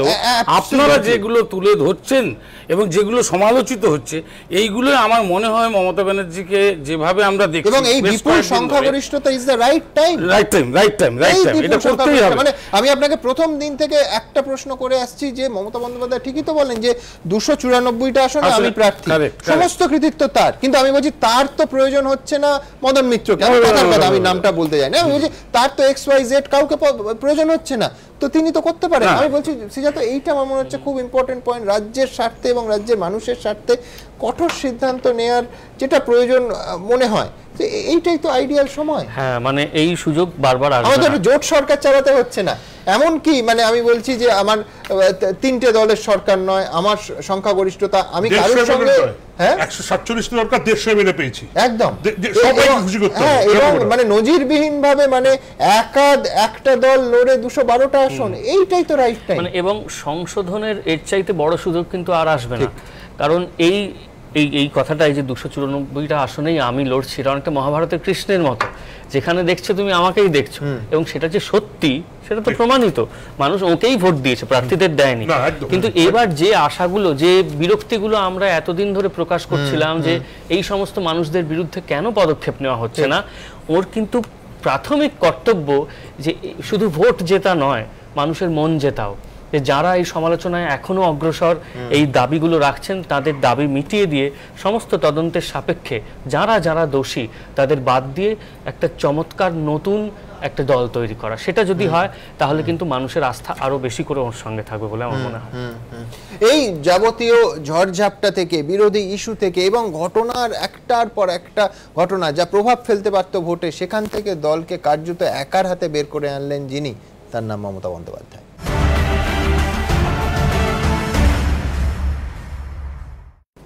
আমাদের সঙ্গে এই অনুষ্ঠানে যোগ দিয়েছেন মনোজ চক্রবর্তী। নিঃসন্দেহে বিজয়ী প্রার্থী, বিপুল ব্যবধানে। মনোজবাবু, আপনাকে আরও একবার অভিনন্দন জানাই এই অনুষ্ঠানে। একানব্বই হাজার নশো বিরাশিটি ভোটে জয়যুক্ত হওয়ার জন্য। মনোজবাবু, আপনার কাছে যে প্রশ্নটা খানিকক্ষণ আগেও করছিলাম, যান্ত্রিক কারণে আপনার কাছে পৌঁছানো গেল না, সেটা হচ্ছে জোটের একটা শোচনীয় পরাজয় হয়েছে অন্তত এই নির্বাচনে। জোটের ভবিষ্যৎ, এ রাজ্যে কি এবং জোটের এই ধাক্কাটা, এটার কি কারণ বলে আপনার মনে হয়? দেখুন, জোটটা তো মাত্র তিন মাসের মাথায় হয়েছে। সেই জায়গাতেই মুখ্যমন্ত্রীকে সমস্ত জায়গায় দৌড়ে বেরিয়ে বলতে হয়েছে যে, আমি দুশো চুরানব্বইটার প্রার্থী আমাকে ভোট দিন। এবং প্রতিটি জায়গায় প্রতিটি জায়গায় মুখ্যমন্ত্রীকে দুর্নীতির ইয়ে মানে বিরুদ্ধে কথা, নিজের দলের দুর্নীতির বিরুদ্ধে কথা বলতে হয়েছে মুখ্যমন্ত্রীকে। আগে জানলে নমিনেশন দিতাম না। এবং এই তো তিন মাসের এই জোটেই আজকে দফা রফা হয়ে গেছিল তৃণমূলের, দৌড়ে দৌড়ে বেড়াতে হয়েছিল মুখ্যমন্ত্রীকে। আমাকে দেখে ভোট দিন এই কথা বলতে হয়েছিল। এবং প্রতিটি জায়গায় দেখুন, তাদের জয়ের মার্জিন মানে কমতে কমতে কমতে তারা যেভাবে জিতেছিল, মুখ্যমন্ত্রী স্বয়ং যে ভোটে জিতেছিলেন আজ থেকে চার বছর সাড়ে চার বছর আগে, তার জয়ের মার্জিন হাফ হয়ে গেছে, একদম। প্রতিটি জায়গায় নেতা থেকে মন্ত্রী, আর প্রতিটি জায়গায় দেখুন কোথাও দুশো, চারশো, ছশো এই সমস্ত ভোটে ওনারা জিতেছেন। তিন মাসে যদি এই জায়গায় যায় দু হাজার নির্বাচনে, আমি খুব দায়িত্ব নিয়ে বলছি অধীর চৌধুরী কংগ্রেস দলকে যে ম্যাজিক ফিগারের জায়গায় নিয়ে গেছেন কংগ্রেস কংগ্রেস দলকে তো বলা হতো যে হজবরল সাইনবোর্ড। সেই জায়গায় কংগ্রেস দল নিজে চুয়াল্লিশ নিজে আজকে চুয়াল্লিশ এবং বলুন শুনছি। এবং এবং আমাদের ভোট পার্সেন্টেজে বেড়েছে এবং প্রতিটি জায়গায় দু হাজার উনিশের নির্বাচন অপেক্ষা করুন। ঠিক জায়গায় অধীর চৌধুরীর নেতৃত্বে কংগ্রেস দল এবং সহযোগী মানুষকে নিয়ে এই সরকারের দুর্নীতি এবং এই দরকারের লাগামহীন মানুষের ওপরে আক্রমণ এবং যে জঙ্গলের রাজত্ব তার অবসান হবেই। আপনি বলতে নিশ্চিত যে দু হাজার উনিশ অব্দি এই জোট একই রকম সংঘবদ্ধ থাকবে? অর্থাৎ বামপন্থীরা কংগ্রেসের সঙ্গে থাকবেন? আরও মানুষ আসবে, আরও আরও আরও আরও আরও মানুষ আসবে, আরও মানুষ আসবে। কেউ দুশো উনিশে, কেউ দুশো সতেরো, কেউ দুশো পঞ্চাশ হাজার থেকে পঁচিশ হাজারে নেমেছে, কেউ পঁচাত্তর হাজার থেকে ন হাজারে নেমেছে। অতএব সেই জায়গায় দাঁড়িয়ে দু হাজার উনিশের নির্বাচন হবে দুর্নীতির বিরুদ্ধে এবং এই ব্যভিচারী সরকারের বিরুদ্ধে হবে। এ তো তিন মাসের মাথায় এই ম্যাজিক ফিগারে চলে গেছে কংগ্রেস দল। তার পার্সেন্টেজ বাড়িয়েছে।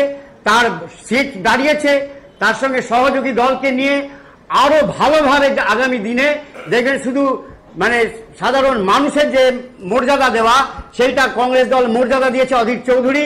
মর্যাদা মানুষের যে পারসেপশন মানুষের যে অনুভূতি মানুষের যে চাহিদা সেই জায়গায় দাঁড়িয়ে জোট করা হয়েছিল। এবং জোট অধীর চৌধুরীর নেতৃত্বে সাকসেসফুল এবং এই জোট কোনো দলের জোট নয় মানুষের জোট এবং আগামী উনিশ ধন্যবাদ ধন্যবাদ ধন্যবাদ। মনোজবাবু। আমি ওম প্রকাশদার কাছে আসব। ওম প্রকাশদা একটা অংশে আমি মানুষের জোট এবং জোট সাকসেসফুল এই পার্টে আমার আপত্তি আছে। জোটের চূড়ান্ত ব্যর্থতা হয়েছে। কিন্তু আমার বক্তব্য তা নয়। কংগ্রেসের দিক থেকে আপনি যদি মানে দেখেন পুরো বিষয়টা, মনোজবাবুর একটা অংশের সঙ্গে আমি সম্পূর্ণ একমত। যে তৃণমূল কংগ্রেসের সঙ্গে গিয়ে আপনারা বিয়াল্লিশটা আসন পেয়েছিলেন। এখন চুয়াল্লিশটা এবং এখনও পর্যন্ত যা ফিগার তাতে অন্তত দু শতাংশ ভোট বেড়েছে কংগ্রেসের। আড়াই শতাংশ। রাজনৈতিকভাবে কংগ্রেস লাভবান হয়েছে কিন্তু অন্যদিকে বামপন্থীদের একটা ক্ষতির সম্মুখীন হয়েছে তারা। এই জোট উনিশ অব্দি এইভাবে যে- জোটের ছবিটা গতকাল অবধি একেবারে ঐক্যবদ্ধ ছবিটা সামনে উঠে এসছে সেই জোটটা চালাতে পারবেন আপনারা? না আমার তো মনে হয় যে এখন পর্যন্ত এমন কোনো কারণ হয়নি যে আমাদের যে সাহায্য সহযোগিতার যে সম্পর্ক আমরা গড়ে তুলেছি। তাতে কোনো রকম ছিদ্র বা কোনো রকম ভাঙনের কোনো সম্ভাবনা আছে। আমরা সার্বিকভাবে ব্যর্থ হয়েছি। আমরা সরকার গঠনের ম্যাজিক ফিগারের কাছে নেই। ছয় পার্সেন্টের ভোটের ডিফারেন্স আছে। ছয় পার্সেন্ট ভোটের ডিফারেন্স জোট আর হচ্ছে আপনার তৃণমূল কংগ্রেসের মধ্যে। সেই ছয় পার্সেন্টের কিন্তু আমাদের পার্লামেন্টারি ডেমোক্রেসি আমাদের যে ব্যবস্থা তাতে কিন্তু প্রায় দেড়শোটা সিট প্রায় দেড়শোটা না হলে একশো চল্লিশটা মতো সিট তৃণমূল কংগ্রেস এগিয়ে আছে। তো আমাদের যেটা কাজ সেটা আমরা করব অপোজিশন পলিটিক্যাল পার্টি হিসাবে। আর যেই সমস্ত জায়গাতে ইস্যুগুলি যেখানে কমন থাকবে আর সেখানে বিরোধী রাজনৈতিক দলগুলি যাদের মধ্যে গণতন্ত্র ও ধর্মনিরপেক্ষতার প্রশ্নে মতৈক্য রয়েছে আমরা কিন্তু জো- জোট থাকছে।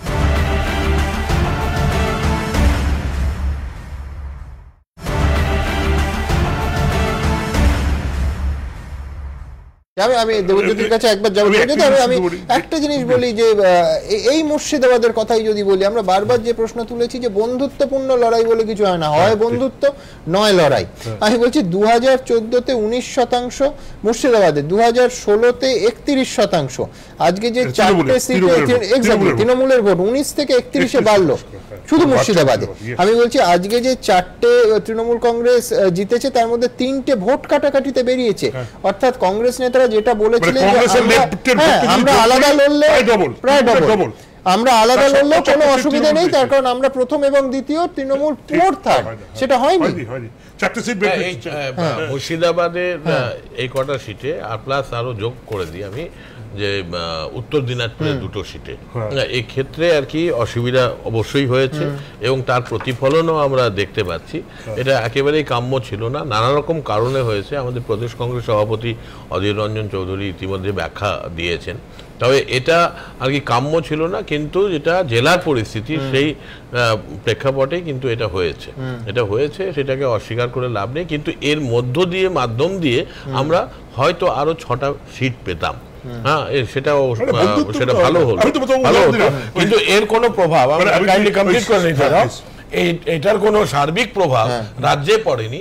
জোটবদ্ধভাবেই আমরা লড়েছি নাইনটি সেভেন পার্সেন্ট কনস্টিটুয়েন্সিতে এবং সেখানে আর কি আমাদের যে সাফল্য আমরা আহ, প্রত্যাশিত ছিল হ্যাঁ জেলাতেই তার মূল্য দিতে আমি আমি একটা কথা বলছি। তৃণমূলের ভোটের পার্সেন্টেজ বাড়লো তৃণমূল পার্সেন্টেজ বাড়ার একটা কিন্তু অন্য হ্যাঁ। কারণও আছে। সেটা হচ্ছে যে যে এটা প্রধান প্রতিপক্ষ যারা থাকে তাদের ভোটটা পার্লামেন্টারি ডেমোক্রেসি ইলেকট্রাল পলিটিক্সে সেটা কিন্তু স্বাভাবিকভাবেই বেড়ে যায়। তার কারণটা হচ্ছে যে এখানে প্রতিপক্ষ তো কংগ্রেসের প্রতিপক্ষ সিপিএম বা সিপিএম এর প্রতিপক্ষ কংগ্রেস ছিল না।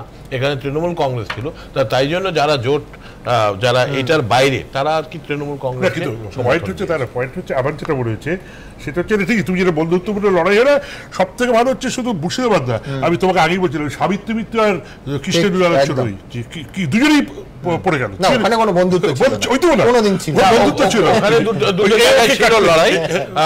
বলে দিই, হরিশ্চন্দ্রপুরে ছিল মালতীপুরে ছিল ফরচুনেটলি দুটো জায়গাতে জোট প্রার্থীরা কংগ্রেস প্রার্থীরা জয়ী হয়েছে। না কিন্তু আমি যেটা বলতে চাইছি কংগ্রেসের তুমি আমি বলছি কংগ্রেসের পক্ষে কিন্তু এই জোটটা খুব কাজে দিয়েছে। আমি বলছি কংগ্রেস তুমি দেখো গোটা রাজ্যে লড়েছিল হচ্ছে দু হাজার চোদ্দ সালে। সব পুরো রাজ্য লড়েছিল বিয়াল্লিশটা সালে লড়েছিল। সে পেয়েছিল nine point eight percent vote এবারে কংগ্রেস লড়েছে একানব্বইটা আসনে দুশো চুরানব্বইটা আসনে নয় একানব্বইটা আসনে তার সত্ত্বেও কংগ্রেস পেয়ে যাচ্ছে হচ্ছে টুয়েলভ পয়েন্ট টু পার্সেন্ট বা three percent vote twelve point three তার কংগ্রেস কম আসনে লড়ে ভোটের পার্সেন্টেজে বাড়িয়েছে। ক্ষতি যাওয়া হয়েছে বামেদের। সিট গেছে। ক্ষতি যা হওয়ার হয়েছে বামেদের। 4% ভোট কমে সুজন চক্রবর্তী প্রার্থী যাদবপুর থেকে আমার সঙ্গে এই মুহূর্তে যোগ দিয়েছেন। কোনো সন্দেহ নেই সুজনবাবু যে দলের দুঃসময় আপনি জিতেছেন। একটা ভালো খবর সেটা হচ্ছে আপনার জয়টা আপনার পক্ষে নিঃসন্দেহে ভালো খবর, আবার খারাপ খবর যে জোটের ফলাফল, জোটের দুরবস্থা। আপনি, আমি প্রথমে খারাপটা দিয়ে শুরু করি, সেটা হচ্ছে জোটের এই শোচনীয় পরাবর, এই ধাক্কাটা কেন বলে আপনার মনে হয়? সংসদীয় রাজনীতিতে জয় পরাজয় থাকে। প্রত্যেকটি দল তারা নির্বাচনে লড়াই করেন জিতবেন এই মনোভাব থেকে। সেটা আমরা পারিনি, আমরা এইভাবে দেখতে চাইব। যে যে কোনো কারণেই হোক, যে ইস্যুগুলো আমরা তুলেছিলাম যা, সেগুলো বেঠিক এটা আমরা মনে করি না। এবং তাকে কেন্দ্র করে যে লড়াই অথবা কংগ্রেস সহ একটা সমঝোতা করে আসনের আমরা একসাথে চলেছি। এটা কোনো বেঠিক হয়েছে তা যেমন নয়, তেমনি যে কোনো কারণেই হোক, মানুষের মনের কথার সবটাকে আমরা বুঝতে পারিনি। নিশ্চয়ই কিছুটা বুঝতে আমাদের অসুবিধে হয়েছে। যে কারণে বা হয়তো আমাদের আরও যদি আগে থেকে এই পরিকল্পনা করে চলতে পারতাম। বেসিক্যালি এটা তো একটা লজিক্যাল কনক্লুশন লড়াই মাঠে, ময়দানে চিটফান্ড অথবা নারী নির্যাতন অথবা মানুষের উপর আক্রমণ, টেট, স্কুল সার্ভিস, এই সমস্ত প্রসঙ্গে লড়াই করতে করতে আমরা এক জায়গাতে এসে হাজির হয়েছি।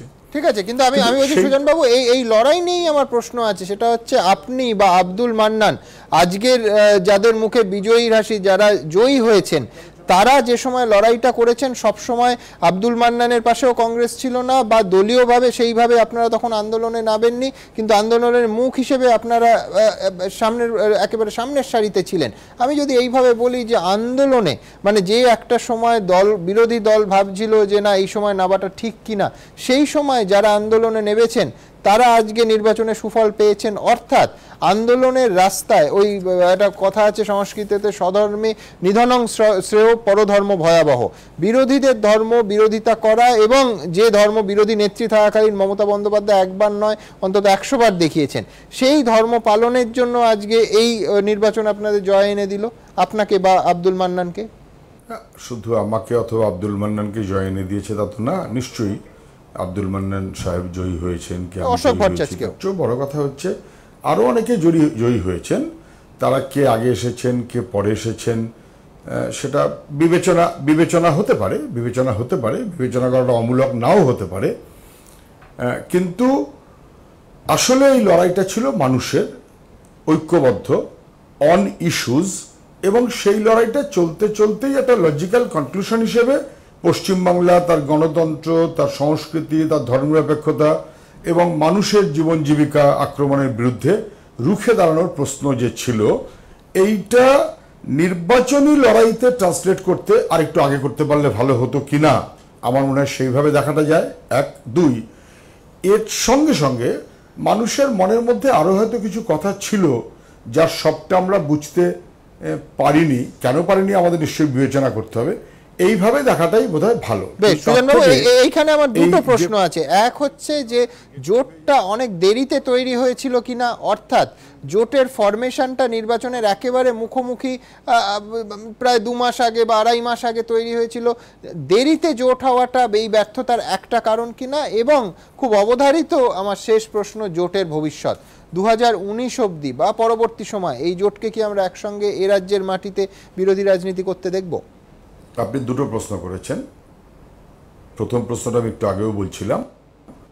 এটা আরও আগে থেকে পরিকল্পনা করে করতে পারলে ভালো হতো, এই মনে হওয়াটা অস্বাভাবিক নয়।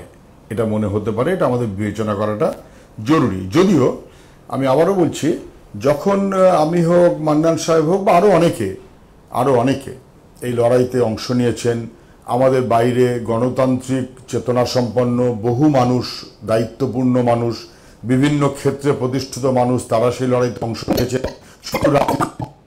কোনো কারণে যোগাযোগ বিচ্ছিন্ন হয়ে গেছে। আমি মহিদুলের কাছে এই একই প্রশ্নে আসব এবং অশোকদার কাছেও আসব। সেটা হচ্ছে যে জোটের ব্যর্থতা এবং জোটের ভবিষ্যৎ। দেখুন এইটা দু হাজার চোদ্দ সাল থেকে আমরা একটা জিনিস বলছিলাম। আমি তো অন্তত বলছিলাম। সেটা হলো যে দু হাজার তেরো সালের মে মাসে সারদাকাণ্ড হয়। মমতা বন্দ্যোপাধ্যায়ের বাড়িতে সারদার যারা লক্ষ লক্ষ কোটি কোটি লোক তাদের মধ্যে কিছু লোক তারা হচ্ছে গ্যাসের বিচার চাইতে। বামেরা তখন থেকেই বাসটা মিস করেছে। দেখুন পশ্চিমবঙ্গের রাজনীতিতে বিরোধী রাজনীতি সেটা হলো যে গণ আন্দোলন করার রাজনীতি। এটা আপনি বামেরা পঞ্চাশ ষাট সত্তরের দশকে ফেন্সে ফেন্সে বসে পরিস্থিতি কত ফেন্সে বসে মাপা নয়। ফেন্সে বসে করা যায় না টিভি টিভি স্টুডিওতে বসে একটা উদাহরণ দিলাম। কনফারেন্স কনফারেন্স করেও করা যায় না। যারা যারা রাস্তায় রাজনীতি কীভাবে করতে হয় মমতা বন্দ্যোপাধ্যায় পিএইচডি করতে পারে। Exactly, আমি আমি আমি একেবারে এক শূন্যতে চলে এসেছেন একজন নিজে ছাড়া কাউকে জেতাতে পারেননি আবার ফিরে এসেছেন। কয়েকটা আমি জায়গায় কথা বলছি। এক হচ্ছে বামেদের থেকে পুরনো ইতিহাস থেকে শিক্ষা নেওয়ার যেমন একটা ব্যাপার আছে। কারণ এই যে লিডারশিপটা এই লিডারশিপটা তিরিশ বত্রিশ বছর বয়স হয়ে গেছে মন্ত্রী হয়ে গেছে। এদের তো কোনো অপোজিশন পলিটিক্স করার মানে অভিজ্ঞতাটাই নেই। সেইটা সময় দিতে হবে এটা এক। দ্বিতীয় যেটা হচ্ছে যে মমতা বন্দ্যোপাধ্যায় এটা আবার বামেদের কোথায় আবার আসার জায়গা কোথায় দেবেন সে শিখতে যদি চায় আর কি। দু হাজার ছয়ের নির্বাচন বামেরা দুশো পঁয়ত্রিশ পাচ্ছে মমতা বন্দ্যোপাধ্যায় তিরিশটা সিট পাচ্ছে। দু তিন মাসের মধ্যে মমতা মমতা বন্দ্যোপাধ্যায় আবার রাস্তায়। এটা বামেরা কি শিখবে মমতা বন্দ্যোপাধ্যায়ের কাছ থেকে? এই এই এইটা একটা বড় বড় বড় বিষয়। তিন নাম্বার রাস্তায় থাকতে হবে। তিন নাম্বার অশোক ভট্টাচার্য ছিলেন। তিন নাম্বার দুর্নীতির প্রশ্নে আপনি রাই- রাজনীতি করছেন। দিল্লিতে দুর্নীতির প্রশ্নে গদি উল্টেছে। দু সালের মোদী সাহেব হচ্ছে ইউপিএ ওয়ানের দুর্নীতির ইস্যুতেই সে গদি উল্টেছে। কেরালে আপনি দেখুন কেরালে এবারে। উমেন চন্ডী আপনি ভাবতে পারছেন একানব্বইটা সিটে এলডিএফ এলডিএফ এগিয়ে আছে মানে প্রায় টু থার্ড মেজরিটি এটা একশো চল্লিশ লাস্ট মেজরিটি মেজরিটি ঠিক, ঠিক, তো এই জায়গাটা বিরোধী রাজনীতির যে পরিসরটা ভাব- পশ্চিমবঙ্গের রাজনীতির ক্ষেত্রে এক এবং দু হাজার এক সালে তাড়াহুড়ো করে জোট করে মমতা বন্দ্যোপাধ্যায় যেমন হেরেছিলেন এখানেও তাড়াহুড়ো করে কোনো রকমের গণ আন্দোলন না করে কোনো রকমের একটা এরিথমেটিক করে ওই ফার্স্ট টাইমের স্ট্র্যাটেজি সেকেন্ড টাইমের ফার্স্ট তা না এই জোটের ক্ষেত্রে মানে বিরোধীদের এই তাড়াহুড়ো করা জোটের ক্ষেত্রে ফার্স্ট টাইমের স্ট্র্যাটেজি আর সেকেন্ড টাইমের স্ট্র্যাটেজি হয়ে যাচ্ছে। একদম। আমি অশোকদার কাছে আসব তার আগে দ্রুত আপনাদের দেখাবো যে নিঃসন্দেহে বিপুল জয় কিন্তু মমতা বন্দ্যোপাধ্যায়ের সামনে চ্যালেঞ্জও প্রচুর। দেখুন।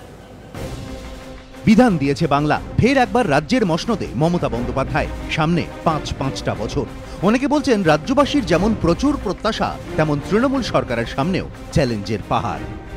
বাংলাকে আবার শ্রেষ্ঠ বাংলা পরিণত করবার শপথ নেওয়ার দিন আজকে যার মধ্যে অন্যতম হল ভোট পরবর্তী হিংসায় দাঁড়ি টানা। বৃহস্পতিবার ফল প্রকাশের পরই বিভিন্ন জায়গায় বিরোধীদের ওপর হামলার অভিযোগ উঠেছে তৃণমূলের বিরুদ্ধে। বিরোধীদের দাবি, এসব ঘটনা ইঞ্চিতে ইঞ্চিতে বুঝে নেওয়া বা চড়াম চড়াম ঢাক বাজানোর হুমকিরই ফলশ্রুতি। পর্যবেক্ষকদের একাংশের মতে, এই প্রেক্ষিতে মমতা বন্দ্যোপাধ্যায়ের সব থেকে বড় চ্যালেঞ্জ হবে আইন শৃঙ্খলা পরিস্থিতি ফিরিয়ে আনা। সেই লক্ষ্যে বার্তাও দিয়েছেন তিনি। আমি সবাইকে আবেদন শান্তি রক্ষা করার জন্য। সারদা থেকে শুরু করে নারদ, গত পাঁচ বছরে মমতা বন্দ্যোপাধ্যায়ের মন্ত্রিসভার সদস্যদের বিরুদ্ধেই দুর্নীতির অভিযোগ উঠেছে বারবার। অনেকে বলছেন, এবার ক্ষমতায় আসার পর তৃণমূলের অন্যতম বড় চ্যালেঞ্জ দুর্নীতি মুক্ত মন্ত্রিসভা গঠন, সিন্ডিকেট রাজ এবং তোলাবাজিতে হ্রাস টানা। শহরাঞ্চলে জমির ঊর্ধ্বসীমা আইন বাতিল করা কিংবা জমি অধিগ্রহণের পথে হাঁটতে পারবে কি তৃণমূল সরকার? সম্পূর্ণ দলতন্ত্র মুক্ত হবে শিক্ষা? ক্ষমতায় এসে নারীর নিরাপত্তা সুনিশ্চিত করতে পারবে মমতা সরকার। নির্বাচন কমিশন নিযুক্ত কলকাতার পুলিশ কমিশনার সৌমেন মিত্র সহ যে পুলিশ কর্তারা মেরুদণ্ড সোজা রেখে ভোট করিয়েছেন, তাদের ভোটের পরই সরিয়ে দেবেন নাকি বহাল রাখবেন মমতা বন্দ্যোপাধ্যায়? পক্ষপাতিত্বের অভিযোগে যেসব পুলিশ ও প্রশাসনের কর্তাকে নির্বাচন কমিশন সরিয়েছিল, তাদের কি ফের ফিরিয়ে আনবেন মমতা? বিভিন্ন মহলে এইসব প্রশ্ন উঠতে শুরু করেছে। এই জল্পনার মধ্যেই এদিন ফল ঘোষণার পর মমতা বন্দ্যোপাধ্যায়ের সঙ্গে সৌজন্য সাক্ষাৎ সেরে যান পুলিশ কমিশনার সৌমেন মিত্র। এরকমই নানা চ্যালেঞ্জ নিয়ে আগামী শুক্রবার থেকে পথ চলা শুরু করতে চলেছে মমতা বন্দ্যোপাধ্যায় সরকার। এদিনই মমতা জানিয়েছেন আগামী শুক্রবার তিনি ও তার মন্ত্রিসভা রেড রোডে শপথ নেবেন। কালকে ফ্রাইডেতে আমরা লিডার ইলেক্টেড হবে এবং নেক্সট ফ্রাইডে শপথ হবে। শপথের পর আগামী দিনে মমতা বন্দ্যোপাধ্যায় সরকার কীভাবে চ্যালেঞ্জের মোকাবিলা করে সেটাই দেখার। এবিপি আনন্দ। অশোকদা একা লড়ে স্বাধীনতার পর দুশো বারোটা সিট পেয়েছেন মমতা বন্দ্যোপাধ্যায়। আপনি অভিনন্দন জানাবেন কিনা? এক দুই হচ্ছে আপনাদের এই ফলাফল হলো কেন? আপনাদের কি বিশ্লেষণ? আমি জানি এরপর নানা কমিটি বসবে তারা সিরিয়াস পর্যালোচনা করবে ফেয়ার এনাফ কিন্তু না না না ইনিশিয়ালি কি মনে হচ্ছে? এটা তো প্রতিক্রিয়া। আছে। ব্যাপার হচ্ছে যে মমতা বন্দ্যোপাধ্যায়কে অভিনন্দন না জানাবার কোনো কারণ নেই কারণ উনি তো জিতেছিলেন এটা নিশ্চয়ই মনে পড়বে সুমন। ভাই দু হাজার এগারোয় যেদিন ফল বেরোচ্ছে সেদিনও তুমি আর আমি যেখানে। দু হাজার ষোলো তো আমার মনে এটাও মনে আছে আপনি অভিমন্যুর মতো লড়াই করতেন। সাতজন আটজন তৃণমূল এবং তৃণমূল পন্থীদের সঙ্গে একা আর সেটা তো যে রাজনীতি আমার ছিল সেই রাজনীতির শক্তিতেই লড়েছি। আমার এখন পরিষ্কার কথা হচ্ছে কিন্তু এখনও তো প্রায় সেই রকম অবস্থা মানে তো বিলুপ্ত প্রায় প্রজাতি বামপন্থীরা হয়ে যেতে একটা সময় না। আমি আমি বলছি সেটা সেটা না রাজনৈতিকভাবে তৃতীয় শক্তিতে পরিণত হয়েছেন এক। দুই হচ্ছে যে এটা বলা হতো মানে এবং বিশ্বাসও করা হতো একাধিক উদাহরণ আমিও দিতে পারি। সেটা হচ্ছে পশ্চিমবঙ্গের মানুষের মানসিকতা বামপন্থী সুলভ। বা বামপন্থী মনোভাব অধিকাংশ মানুষের এখানে। সেখানে এরম একটা রাজ্যে বামপন্থীদের এই অবস্থা আমি? এখানেই বলছিলাম আমার কথা হচ্ছে যে আপনারা একটু শুনলে বুঝবেন। নিশ্চয়ই। দেখুন সফলতা সফলতা বহু ত্রুটি ঢেকে দেয়। বহু ত্রুটি বিচ্যুতি দুর্বলতা বহু অপরাধ ঢেকে দেয় সফলতা। মমতা বন্দ্যোপাধ্যায়ের সফলতা বহু অপরাধ ঢেকে দেবে বহু ত্রুটি বিচ্যুতি ঢেকে দেবে। বামেদের ব্যর্থতা। অনেক ত্রুটি বিচ্যুতি সেগুলোকে খুঁচিয়ে দেখাবে আঙুল দিয়ে দেখাবে এবং আমি একমত। যে সেই ত্রুটি বিচ্যুতিগুলো যদি কেউ তুলে ধরেন আমাদের সেগুলো দেখা দরকার শেখা দরকার কিন্তু আপনার বোঝা দরকার। তার আগের বাক্যের সঙ্গে আমি একমত নই। সফলতা নিঃসন্দেহে অভিনন্দনযোগ্য কিন্তু এমন অনেক বিষয় রয়েছে যেমন আমি উদাহরণ দিলাম যে ব্রিজ ভেঙে ২৬ জনের মৃত্যু কিংবা দুর্নীতির প্রশ্ন কিংবা সিন্ডিকেট রাজের প্রশ্ন প্রত্যেক সাধারণ মানুষকে ফেস করতে হবে। না না আমি বলছি এটা এটা আমরা মনে আমরা মনে মনে করছি এটা জরুরি প্রশ্ন মমতা একশো পক্ষেও জরুরি প্রশ্ন। আরেকটা প্রশ্ন হ্যাঁ। যে মানিক সরকার ত্রিপুরার মুখ্যমন্ত্রী তিনি যে মন্তব্য করেন, রাজনীতির প্রশ্ন তো থাকবেই। না না আমার এটাও কথাটা তো বলতে আরে আমি তো বলব কথাটা। কথাটা আমি পরিষ্কার বলছি এগুলো আমাদের প্রশ্ন। আজকে দুশোর ওপরে আসন পাওয়ার পর সিন্ডিকেট থাকবে কি থাকবে না? পার্টি অফিস ট্রেড ইউনিয়ন অফিসগুলো কি দখল হবে? যেটা আজকে থেকে শুরু হয়েছে দু হাজার এগারোয় যেদিন মমতা জিতলেন সেদিন থেকে শুরু হয়েছিল আজকে জেতার পরে শুরু হচ্ছে।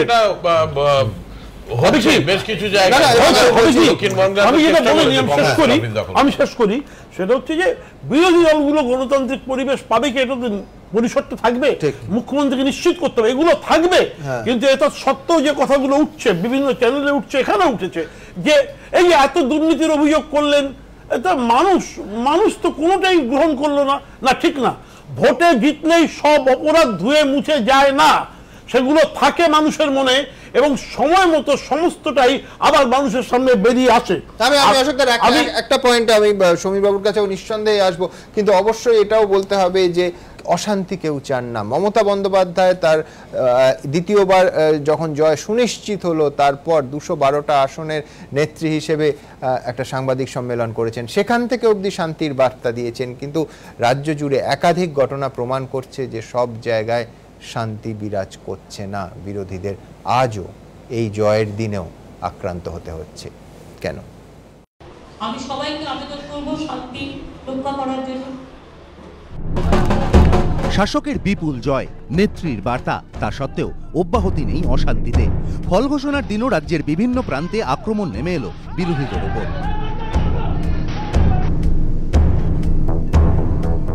কলকাতা থেকে বর্ধমান সর্বত্রই এক ছবি। বেলেঘাটা মেইন রোডে আক্রান্ত সিপিএম সমর্থক বেধরক মারধর, বাড়ি ভাঙচুরের অভিযোগ তৃণমূলের বিরুদ্ধে।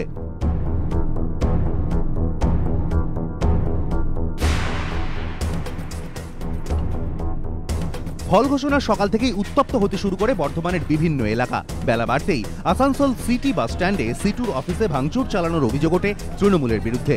এমনকি অভিযোগ ভাঙচুর চালানোর পর পার্টি অফিস দখলও করে নেয় শাসক দল। পরে ভাঙচুরের কথা স্বীকারও করে নেয় তৃণমূল।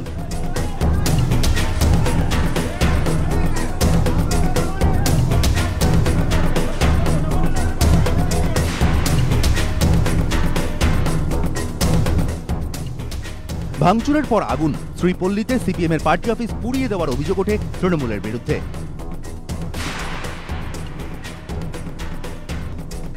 বারাবণী এবং রানীগঞ্জেও সিপিএম এর পার্টি অফিসে ভাঙচুরের অভিযোগ তৃণমূলের বিরুদ্ধে।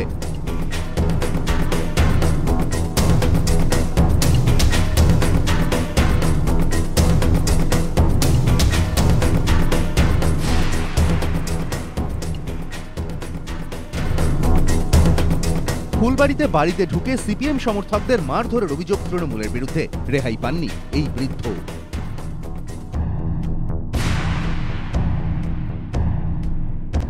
শিবপুরে তো সিপিএম এর বন্ধ পার্টি অফিসেই তাণ্ডব চালানোর অভিযোগ তৃণমূলের বিরুদ্ধে। ছিঁড়ে দেওয়া হয় অফিসে মজুদ ছবি, ব্যানার, ফেস্টুন, একই ছবি লিলুয়াতেও। হিংসার একই ছবি হুগলিতেও। চন্দননগর ও উত্তরপাড়ায় হামলা সিপিএম কর্মীদের বাড়িতে। চুঁচুড়াতে তো সিপিএম এর পার্টি অফিসে আগুন দেওয়ার অভিযোগ ওঠে তৃণমূলের বিরুদ্ধে। এমনকি ভাঙচুর আগুনের পর অফিসে তৃণমূলের পতাকাও লাগিয়ে দেওয়া হয় বলে সিপিএম এর দাবি। ঝাড়গ্রামেও হামলা চলে সিপিএম এবং এসএফআই এর কার্যালয়ে। গণনা কেন্দ্রের কাছেই চলে অবাধ ভাঙচুর। ভেঙে গুঁড়িয়ে দেওয়া হয় দরজা জানালা। অভিযোগ, হামলা চালায় তৃণমূলের শহর সভাপতি এবং ঝাড়গ্রাম পুরসভার চেয়ারম্যানের অনুগামীরা। পশ্চিম মেদিনীপুরেরই রাঙামাটি এলাকায় ভাঙচুরের পর আগুন ধরিয়ে দেওয়া হয় সিপিএম এর পার্টি অফিসে। এক্ষেত্রে অভিযোগের তীর তৃণমূলের দিকে। যদিও অভিযোগ অস্বীকার করেছে শাসক দল। দত্তপুকুরে আক্রান্ত সিপিএম কর্মী ভর্তি হাসপাতালে। এই পরিস্থিতিতে সন্ত্রাসের বিরুদ্ধে লড়াই চালিয়ে যাওয়ার ডাক বামেদের গলায়। আমরা বলতে থাকব যে গণতন্ত্র আক্রান্ত হয়েছে এবং এখনও হচ্ছে। আজকেও। শুরুটা হয়েছিল ভোটের আগে। ভোট মেটার পরও অব্যাহত রইল সন্ত্রাসের ছবিটা। এবিপি আনন্দ। দুশো বারো দলের কি প্রয়োজন? আমি একটা সংশোধন হ্যাঁ। এই যে মন্ত্রীরা হেরেছেন না আরও একজন মন্ত্রী হেরেছেন শঙ্কর চক্রবর্তী হ্যাঁ। বালুরঘাটে। পূর্তমন্ত্রী হেরেছেন প্রাক্তন মন্ত্রী বিশ্বনাথ চৌধুরীর কাছে। আর আপনারা হারের কথা বলছেন যারা দল বদলে তৃণমূল কংগ্রেসে এসেছিলেন তাদের ঠিক কি রাজনৈতিক পরিস্থিতিটা হলো নির্বাচনের পর? জিতলেন নাকি হারলেন? দেখুন। একদল ছেড়ে যারা অন্য দলে গিয়েছিলেন তাদের অনেকের দিক থেকেই এবার মুখ ফিরিয়ে নিলেন ভোটাররা। ঘর বদল করেও ভেঙে পড়ল ঘর। দীর্ঘদিনের কংগ্রেসে বিধায়ক, কিন্তু হঠাৎই কংগ্রেস ছেড়ে নাম লিখিয়েছিলেন তৃণমূলে। তখনও অনেকে বলেছিলেন, তিনি অজেয়। কিন্তু ভোটের ফলে ঘটল ঠিক উল্টোটা। তৃণমূলের টিকিটে লড়ে এবার হারতে হলো শান্তিপুরের দলত্যাগী কংগ্রেস নেতা অজয় দেকে। কংগ্রেসেরই তরুণ মুখ অরিন্দম ভট্টাচার্যর কাছে হার মানতে হল একদা কংগ্রেসি অজয় দেকে।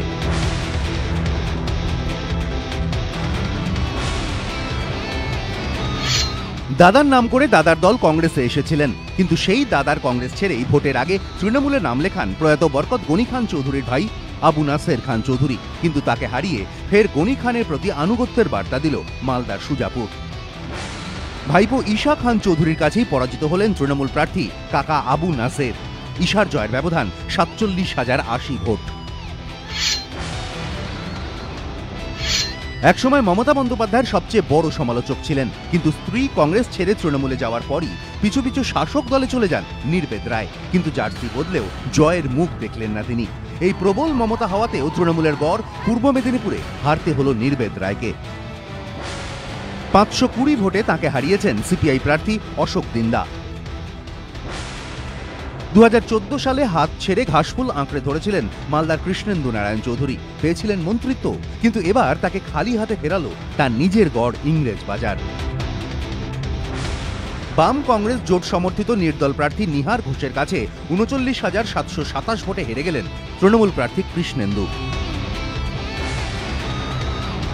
কয়েক মাস আগে দল ছেড়ে তৃণমূলের পতাকা হাতে নেন কাটোয়ার দীর্ঘদিনের কংগ্রেসি বিধায়ক রবীন্দ্রনাথ চট্টোপাধ্যায়। বাম আমলেও বিশাল ব্যবধান নিয়ে জিততেন তিনি। এবার তৃণমূলের টিকিটে লড়ে তেমনটা হলো না। নিকটতম প্রতিদ্বন্দ্বী কংগ্রেসের শ্যামা মজুমদারের সঙ্গে তার জয়ের ব্যবধান মাত্র এক হাজার চুরাশি ভোট। উল্টো ছবিও রয়েছে। এবারের বিধানসভা ভোটে ভাঙড় থেকে জিতেছেন সিপিএম থেকে বহিষ্কৃত হওয়ার পর তৃণমূলে যোগ দেওয়া রেজ্জাক মোল্লা। কোচবিহারের দিনহাটা থেকে জিতেছেন ফরওয়ার্ড ব্লক ছেড়ে তৃণমূলে যোগ দেওয়া উদয়ন গুহ। আবার উত্তর চব্বিশ পরগনার বাগদা আসনে রাজ্যের মন্ত্রী উপেন বিশ্বাসকে হারিয়ে দিয়েছেন তৃণমূল ছেড়ে কংগ্রেসের ফেরা দুলাল বর, এবিপি আনন্দ। আমি বলছি সমীরবাবু দুশো বারো পাওয়া দলের সন্ত্রাসের দরকার হয় না? কারা করছে? কেন নিয়ন্ত্রণ করা যাচ্ছে না তাদের? তো মানুষের রায় লেভেলের কর্মী এরা মমতা বন্দ্যোপাধ্যায় যা বলেছে এটাই ঠিক তৃণমূল দলে হ্যাঁ। তাই হয় কারণ আমরা সবসময় না, 2011 তে নজির করেছিলেন বারবার ইঞ্চিতে জবাব। আগেই মানে এটা যদি ইঞ্চিতে ইঞ্চিতে হ্যাঁ, জবাব এগারো তো যেটা বলছেন যে বদলা নয় বদল চেয়েছিলাম এটা তৃণমূলের একেবারেই ঠিক কারণ তৃণমূলই বেশি আক্রান্ত হচ্ছে সে হচ্ছে একটা এমন ভাবে লোকাল লেভেলে পর্যন্ত কুৎসা অপপ্রচারটা গিয়ে। আক্রান্ত হলো, বারবার যে লালে বিপদ হ্যাঁ। সবুজে শান্তি তা সেই শান্তি যখন সবুজে এসছে। এই জিনিসগুলোকে নিশ্চয়ই মানে গ্রহণযোগ্য এটা নয় এটা প্রতিবাদ হওয়া উচিত প্রতিবাদ ছবি দেখে মনে হচ্ছে- প্রতিবাদ বন্ধ হবে কিনা হ্যাঁ। বন্ধ বন্ধ বন্ধ আমি প্রতিবাদ বন্ধ বন্ধ বলছি, হবে কিনা? দলীয় স্তর থেকে একটা নির্দেশ দেওয়া আরে উচিত। দল থেকে নির্দেশ দেবে তো, দল না এবং এই ক্ষমতা আমি বলছি যে মমতা বন্দ্যোপাধ্যায় তো প্রচারে মানে প্রচণ্ড পরিশ্রম করে প্রচারে ঝড় তুলে ক্ষমতা এলেন। আমি বলছি এই এই সংঘাতগুলো এই সংঘর্ষগুলো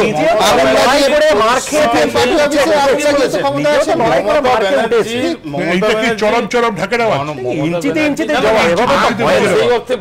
না, হয় এবং সেটা মানে যত আনন্দের না। না আরও বাজলে ভালো হতো আরও আরও হ্যাঁ, এইটাই তো তোলার কথা বলছি মমতা বন্দ্যোপাধ্যায়ের সেই প্রচার দলের সদস্যদের বিরুদ্ধে দুর্নীতির অভিযোগ ছিল বিরোধীদের আক্রমণ ছিল জোটের চাপ ছিল কিন্তু সেই সবকিছুকে হেলায় উড়িয়ে ফের একবার বাংলায় ঝড় তুলল তৃণমূল অনেকে অবশ্য বলছেন এই ঝড় শুধুই মমতা বন্দ্যোপাধ্যায় যিনি একা কুম্ভ হয়ে রক্ষা করেছেন তৃণমূলকে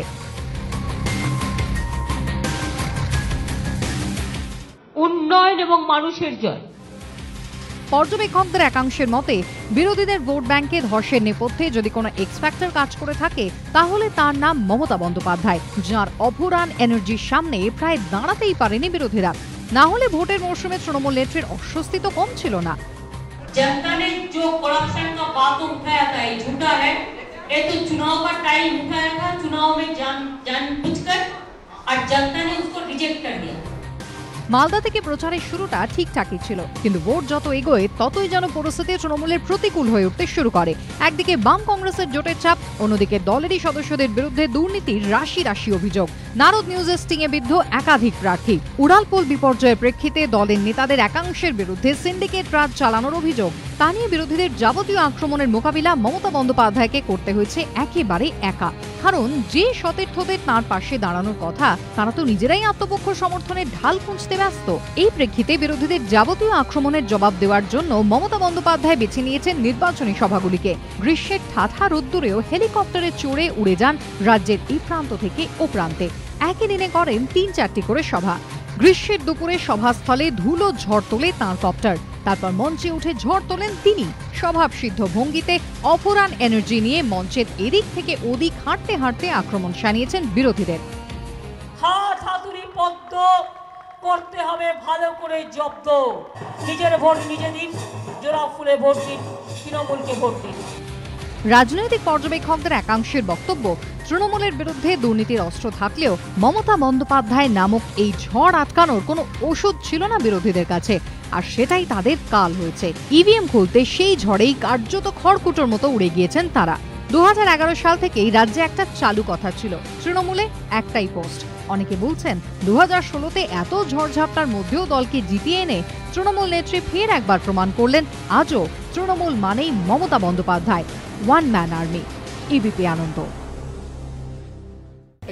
খুব ইন্টারেস্টিং সেটা হলো যে প্রো মোদি যে ঝড়টা উঠেছিল সেই ভোটটার একটা বড় অংশ এবারে তৃণমূল পেয়েছে। অর্থাৎ pro Modi not necessarily anti Mamata এটার ওভারল্যাপ আছে। এটা খুব ইন্টারেস্টিং দ্বিতীয় যে জিনিসটা উঠছে পরিসংখ্যানই তাই বলছে। হ্যাঁ দ্বিতীয় যে জিনিসটা উঠছে দেখো তামিলনাড়ুতেও জয়ললিতার মতো। একটা ব্যক্তিকেন্দ্রিক রাজনীতি হ্যাঁ। দুর্নীতি আছে হ্যাঁ। কিন্তু আপনি ফ্রি বিজ দিচ্ছেন অনেক ডোজ দিচ্ছেন। একদম একটা dole দিয়ে- আপনি একটা জায়গা কোনো সন্দেহের অবকাশ নেই যে এই তুলনাটা এসেই যাবে। অন্তত বিরোধীদের একেবারে স্পষ্ট অভিযোগ ছিল এই পলিটিক্স অফ ডোল গিভিং নিয়ে। মানুষ তাদের সাড়া দিয়েছে কোনো সন্দেহ নেই। দেখুন। কেউ বলতে পারেন জনমুখী কেউ বলতে পারেন অনুদানের রাজনীতি। কিন্তু যাই বলা হোক না কেন সেই কৌশলেই বঙ্গে বাজিমাত করলেন দিদি তামিলনাড়ুতে আম্মা। অনেকেই বলছেন তৃণমূলের ডাবল সেঞ্চুরি হাঁকানোর পেছনে যদি তিনটি কারণ দেখাতে বলা হয় তাহলে প্রথম কারণ মমতা দ্বিতীয় কারণ মমতা তৃতীয় কারণও মমতা। যদিও প্রত্যাশিতভাবেই মমতা বলছেন এই জয় মানুষের জয়। আজকে এত জয়ের পরেও অনেকে বলছেন দিদি আপনি হাসছেন না কেন? মানুষের হাসিটাকে আমি মনে করি আমার হাসি। তবে জয়ের এক ও একমাত্র কারিগর যদি মমতা বন্দ্যোপাধ্যায় হন, তাহলে জয়ের নেপথ্যে সবচেয়ে বড় ভূমিকা নিয়েছে গত পাঁচ বছরে তার নেওয়া একের পর এক জনমুখী সিদ্ধান্ত।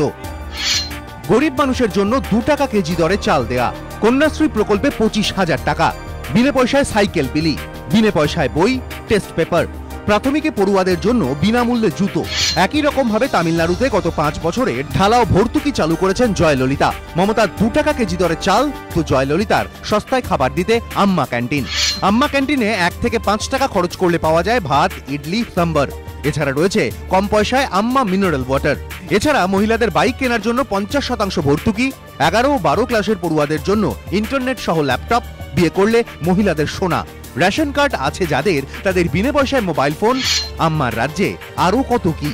অনেকেরই দাবি, এসব হচ্ছে ভর্তুকির রাজনীতি, পাইয়ে দেওয়ার রাজনীতি। বিনা পয়সায় কিছু পাইয়ে দিয়ে গরিব মানুষের মন জয়ের চেষ্টা, কিন্তু এতে গরিবের দুর্দশা কিন্তু ঘোচে না। গরিব গরিবই থেকে যায়। কিন্তু উল্টো দিকে একটা অংশ এও বলে, প্রান্তিক মানুষকে পাইয়ে দেওয়ার মধ্যে কোনো দোষ থাকতে পারে না। কল্যাণকর রাষ্ট্রের অন্যতম কাজই হলো গরিব মানুষের জন্য কিছু করা, নানা সামাজিক প্রকল্পের মধ্যে দিয়ে তাদের উন্নয়নের চেষ্টা করা। আর তার মধ্যে দিয়ে যদি ভোটও আসে, তাহলে আপত্তি কোথায়? তাই জনমুখী না জনমোহিনী? তা নিয়ে বিতর্ক থাকলেও আরও একবার পূর্ব থেকে দক্ষিণ জয়ী হলো এই ফ্যাক্টরি আশাবুল হোসেন এবিপি আনন্দ।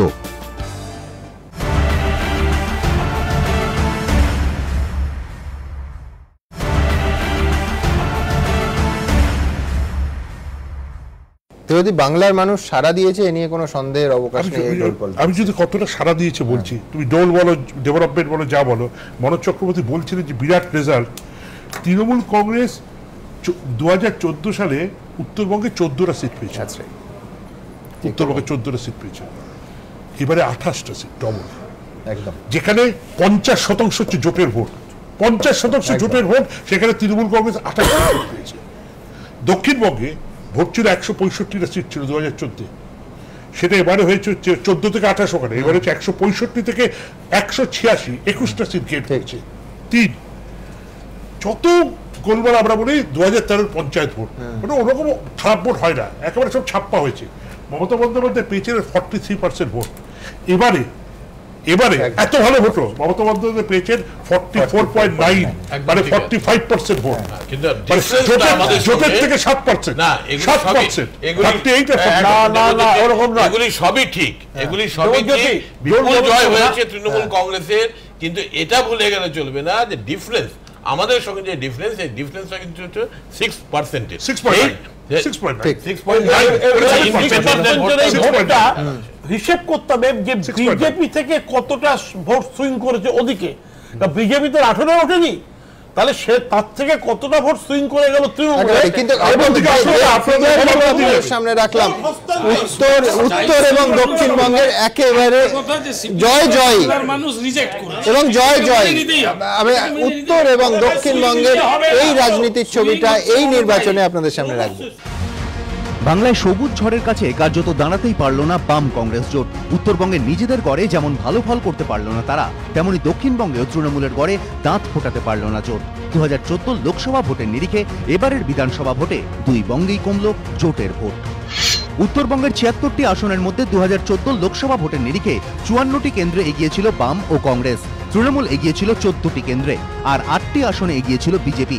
কিন্তু এবারের ভোটে উত্তরবঙ্গে এগারোটি আসন হাতছাড়া করে বাম কংগ্রেস জোটের দখলে এলো মাত্র তেতাল্লিশটি আসন। দু হাজার চোদ্দ লোকসভা ভোটের ফলে নিরিখে উত্তরবঙ্গে চোদ্দটি আসনে এগিয়েছিল তৃণমূল, আর এবার বাড়তি চোদ্দটি আসন পেয়ে তৃণমূলের দখলে এলো দ্বিগুণ সংখ্যক আসন। অর্থাৎ বাম কংগ্রেসের শক্ত ঘাঁটি বলে পরিচিত উত্তরবঙ্গেও বিশেষ কোনো ফায়দা তুলতে পারেনি জোট। আর উত্তরবঙ্গে যখন জোটের এই দশা, তৃণমূলের গড় দক্ষিণবঙ্গেও জোটের অবস্থা তথই বচ দক্ষিণবঙ্গের দুশো আঠেরোটি আসনের মধ্যে দু হাজার চোদ্দ লোকসভা ভোটের নিরিখে তেতাল্লিশটি আসনে এগিয়েছিল বাম ও কংগ্রেস। তৃণমূলের অ্যাডভান্টেজ ছিল একশো পঁয়ষট্টি আসনে। বিজেপি এগিয়েছিল দশটি আসনে, কিন্তু এবারের ভোটে দক্ষিণবঙ্গে বারোটি আসন হাতছাড়া করে জোটের দখলে এলো মাত্র একত্রিশটি আসন। সেখানে তৃণমূলের ঝুলিতে এলো একশো ছিয়াশিটি আসন আর নটি আসন হাতছাড়া করে দক্ষিণবঙ্গে বিজেপি পেল মাত্র একটি আসন। নিজেদের গড় উত্তরবঙ্গে ব্যর্থতার বড়সড় মাসুল গুঁততে হলো জোটকে। আর দুই বঙ্গেই জোটকে টেক্কা দিয়ে বাজিমাত করলেন মমতা বন্দ্যোপাধ্যায় এবিপি আনন্দ। বাংলায় সবুজ ঝড়ের কাছে কার্যত দাঁড়াতেই পারল না বাম কংগ্রেস জোট। উত্তরবঙ্গে নিজেদের গড়ে যেমন ভালো ফল করতে পারল না তারা, তেমনি দক্ষিণবঙ্গেও তৃণমূলের গড়ে দাঁত ফোটাতে পারল না জোট। দু হাজার লোকসভা ভোটের নিরিখে এবারের বিধানসভা ভোটে দুই বঙ্গেই কমল জোটের ভোট। উত্তরবঙ্গের ছিয়াত্তরটি আসনের মধ্যে দুহাজার চোদ্দ লোকসভা ভোটের নিরিখে চুয়ান্নটি কেন্দ্রে এগিয়েছিল বাম ও কংগ্রেস। তৃণমূল এগিয়েছিল চোদ্দটি কেন্দ্রে আর আটটি আসনে এগিয়েছিল বিজেপি। কিন্তু এবারের ভোটে উত্তরবঙ্গে এগারোটি আসন হাতছাড়া করে বাম কংগ্রেস জোটের দখলে এলো মাত্র তেতাল্লিশটি আসন। দু হাজার চোদ্দ লোকসভা ভোটের ফলে নিরিখে উত্তরবঙ্গে চোদ্দটি আসনে এগিয়েছিল তৃণমূল, আর এবার বাড়তি চোদ্দটি আসন পেয়ে তৃণমূলের দখলে এলো দ্বিগুণ সংখ্যক আসন। অর্থাৎ বাম কংগ্রেসের শক্ত ঘাঁটি বলে পরিচিত উত্তরবঙ্গেও বিশেষ কোনো ফায়দা তুলতে পারেনি জোট। আর উত্তরবঙ্গে যখন জোটের এই দশা, তৃণমূলের গড় দক্ষিণবঙ্গেও জোটের অবস্থা তথই বচ দক্ষিণবঙ্গের দুশো আঠেরোটি আসনের মধ্যে দু হাজার চোদ্দ লোকসভা ভোটের নিরিখে তেতাল্লিশটি আসনে এগিয়েছিল বাম ও কংগ্রেস। তৃণমূলের অ্যাডভান্টেজ ছিল একশো পঁয়ষট্টি আসনে। বিজেপি এগিয়েছিল দশটি আসনে, কিন্তু এবারের ভোটে দক্ষিণবঙ্গে বারোটি আসন হাতছাড়া করে জোটের দখলে এলো মাত্র একত্রিশটি আসন। সেখানে তৃণমূলের ঝুলিতে এলো একশো ছিয়াশিটি আসন, আর নটি আসন হাতছাড়া করে দক্ষিণবঙ্গে বিজেপি পেল মাত্র একটি আসন। নিজেদের গড় উত্তরবঙ্গে ব্যর্থতার বড়সড় মাসুল গুঁততে হলো জোটকে, আর দুই বঙ্গেই জোটকে টেক্কা দিয়ে বাজিমাত করলেন মমতা বন্দ্যোপাধ্যায় এবিপি আনন্দ।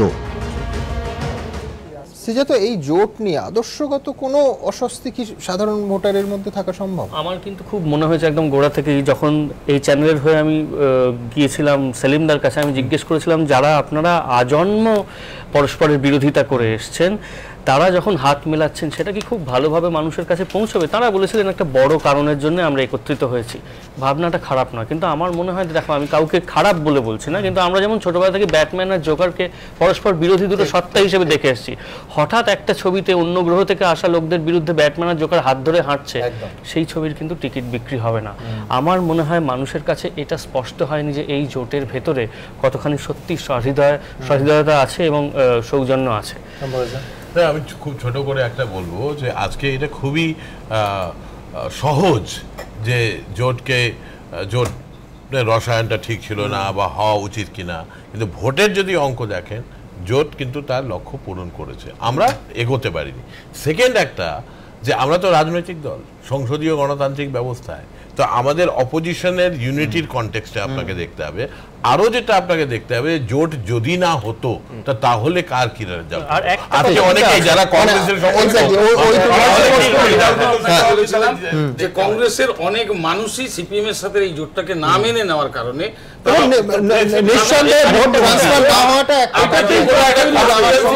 আমার সময় একেবারেই শেষ। আমি আবার সমস্ত বিজয়ী প্রার্থীকে সংসদীয় রাজনীতিতে জয়ের থেকে বড় ঘটনা আর কিছুই হতে পারে না। সবাইকে আবার অভিনন্দন। এ নিয়ে কোনো সংশয়ের জায়গা নেই। রাজ্যের পরবর্তী মুখ্যমন্ত্রীর নাম মমতা বন্দ্যোপাধ্যায়। দ্বিতীয়বারের জন্য মমতা বন্দ্যোপাধ্যায় এই রাজ্যের মুখ্যমন্ত্রী হচ্ছেন। অবশ্যই অভিনন্দন থাকবে। তার সামনে চ্যালেঞ্জ নিঃসন্দেহে থাকবে এবং সেদিকে আমাদের নজর থাকবে যে কীভাবে সেই চ্যালেঞ্জের মোকাবিলা তিনি করছেন। এই অনুষ্ঠান আমি শেষ করব। বাংলার একটা ট্র্যাডিশন দিয়ে যেটা গত কিছুদিন ধরেই আমরা আপনাদের সামনে রাখছি। ফ্র্যাকচার ম্যান্ডেট কিন্তু বাংলার মানুষ দেন না। একতরফা ভোট দেন। যে একতরফা ভোটের প্রতিফল ওই দুশো বারো। যদি একাত্তর সাল থেকে দেখি, তাহলে বিরোধীরা বেশিরভাগ ক্ষেত্রে, প্রায় সব ক্ষেত্রে একশোর নিচে চলে গেছে। আর বিজয়ী দল হিসেবে, একক হিসেবে অথবা জোট হিসেবে শুধুমাত্র একক সংখ্যাগরিষ্ঠতা পাচ্ছেন তা নয়, দুশো ফিগারের কাছাকাছি হয়েছেন। আর এবার এই দু হাজার ষোলোতে তারা দুশো বারো পেয়েছেন। আবার অভিনন্দন। বাংলার এই ট্র্যাডিশন দেখতে দেখতে এই অনুষ্ঠান শেষ করব।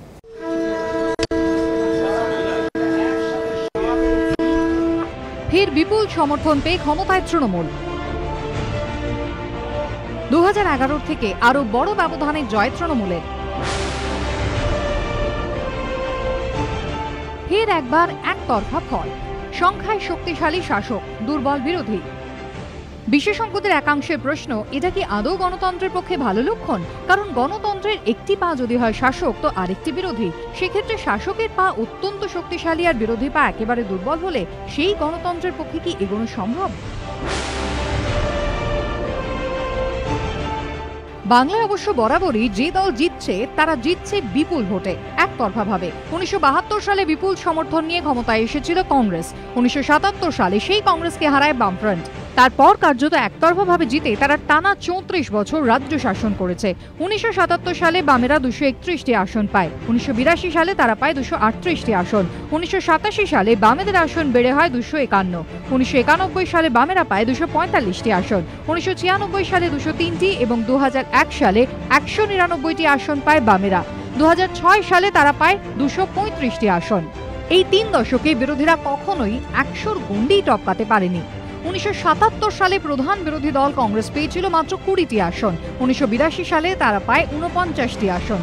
উনিশশো সাতাশিতে চল্লিশটি। একানব্বইয়ে প্রধান বিরোধী দল কংগ্রেস পেয়েছিল তেতাল্লিশটি আসন। উনিশশো ছিয়ানব্বই সালে তারা পেয়েছিল বিরাশিটি আসন। দু হাজার এক সালে প্রধান বিরোধী দল তৃণমূল পায় ষাটটি আসন। কংগ্রেস ছাব্বিশটি। দু হাজার ছয় সালে দুই বিরোধী দল কংগ্রেস এবং তৃণমূল মিলে পায় একান্নটি আসন।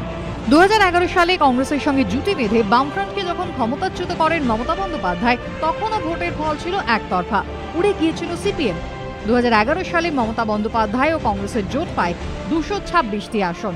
জোট টক্কর হয়েছিল মাত্র দুবার, উনিশশো সাতষট্টি এবং উনিশশো একাত্তর সালে নির্বাচনে।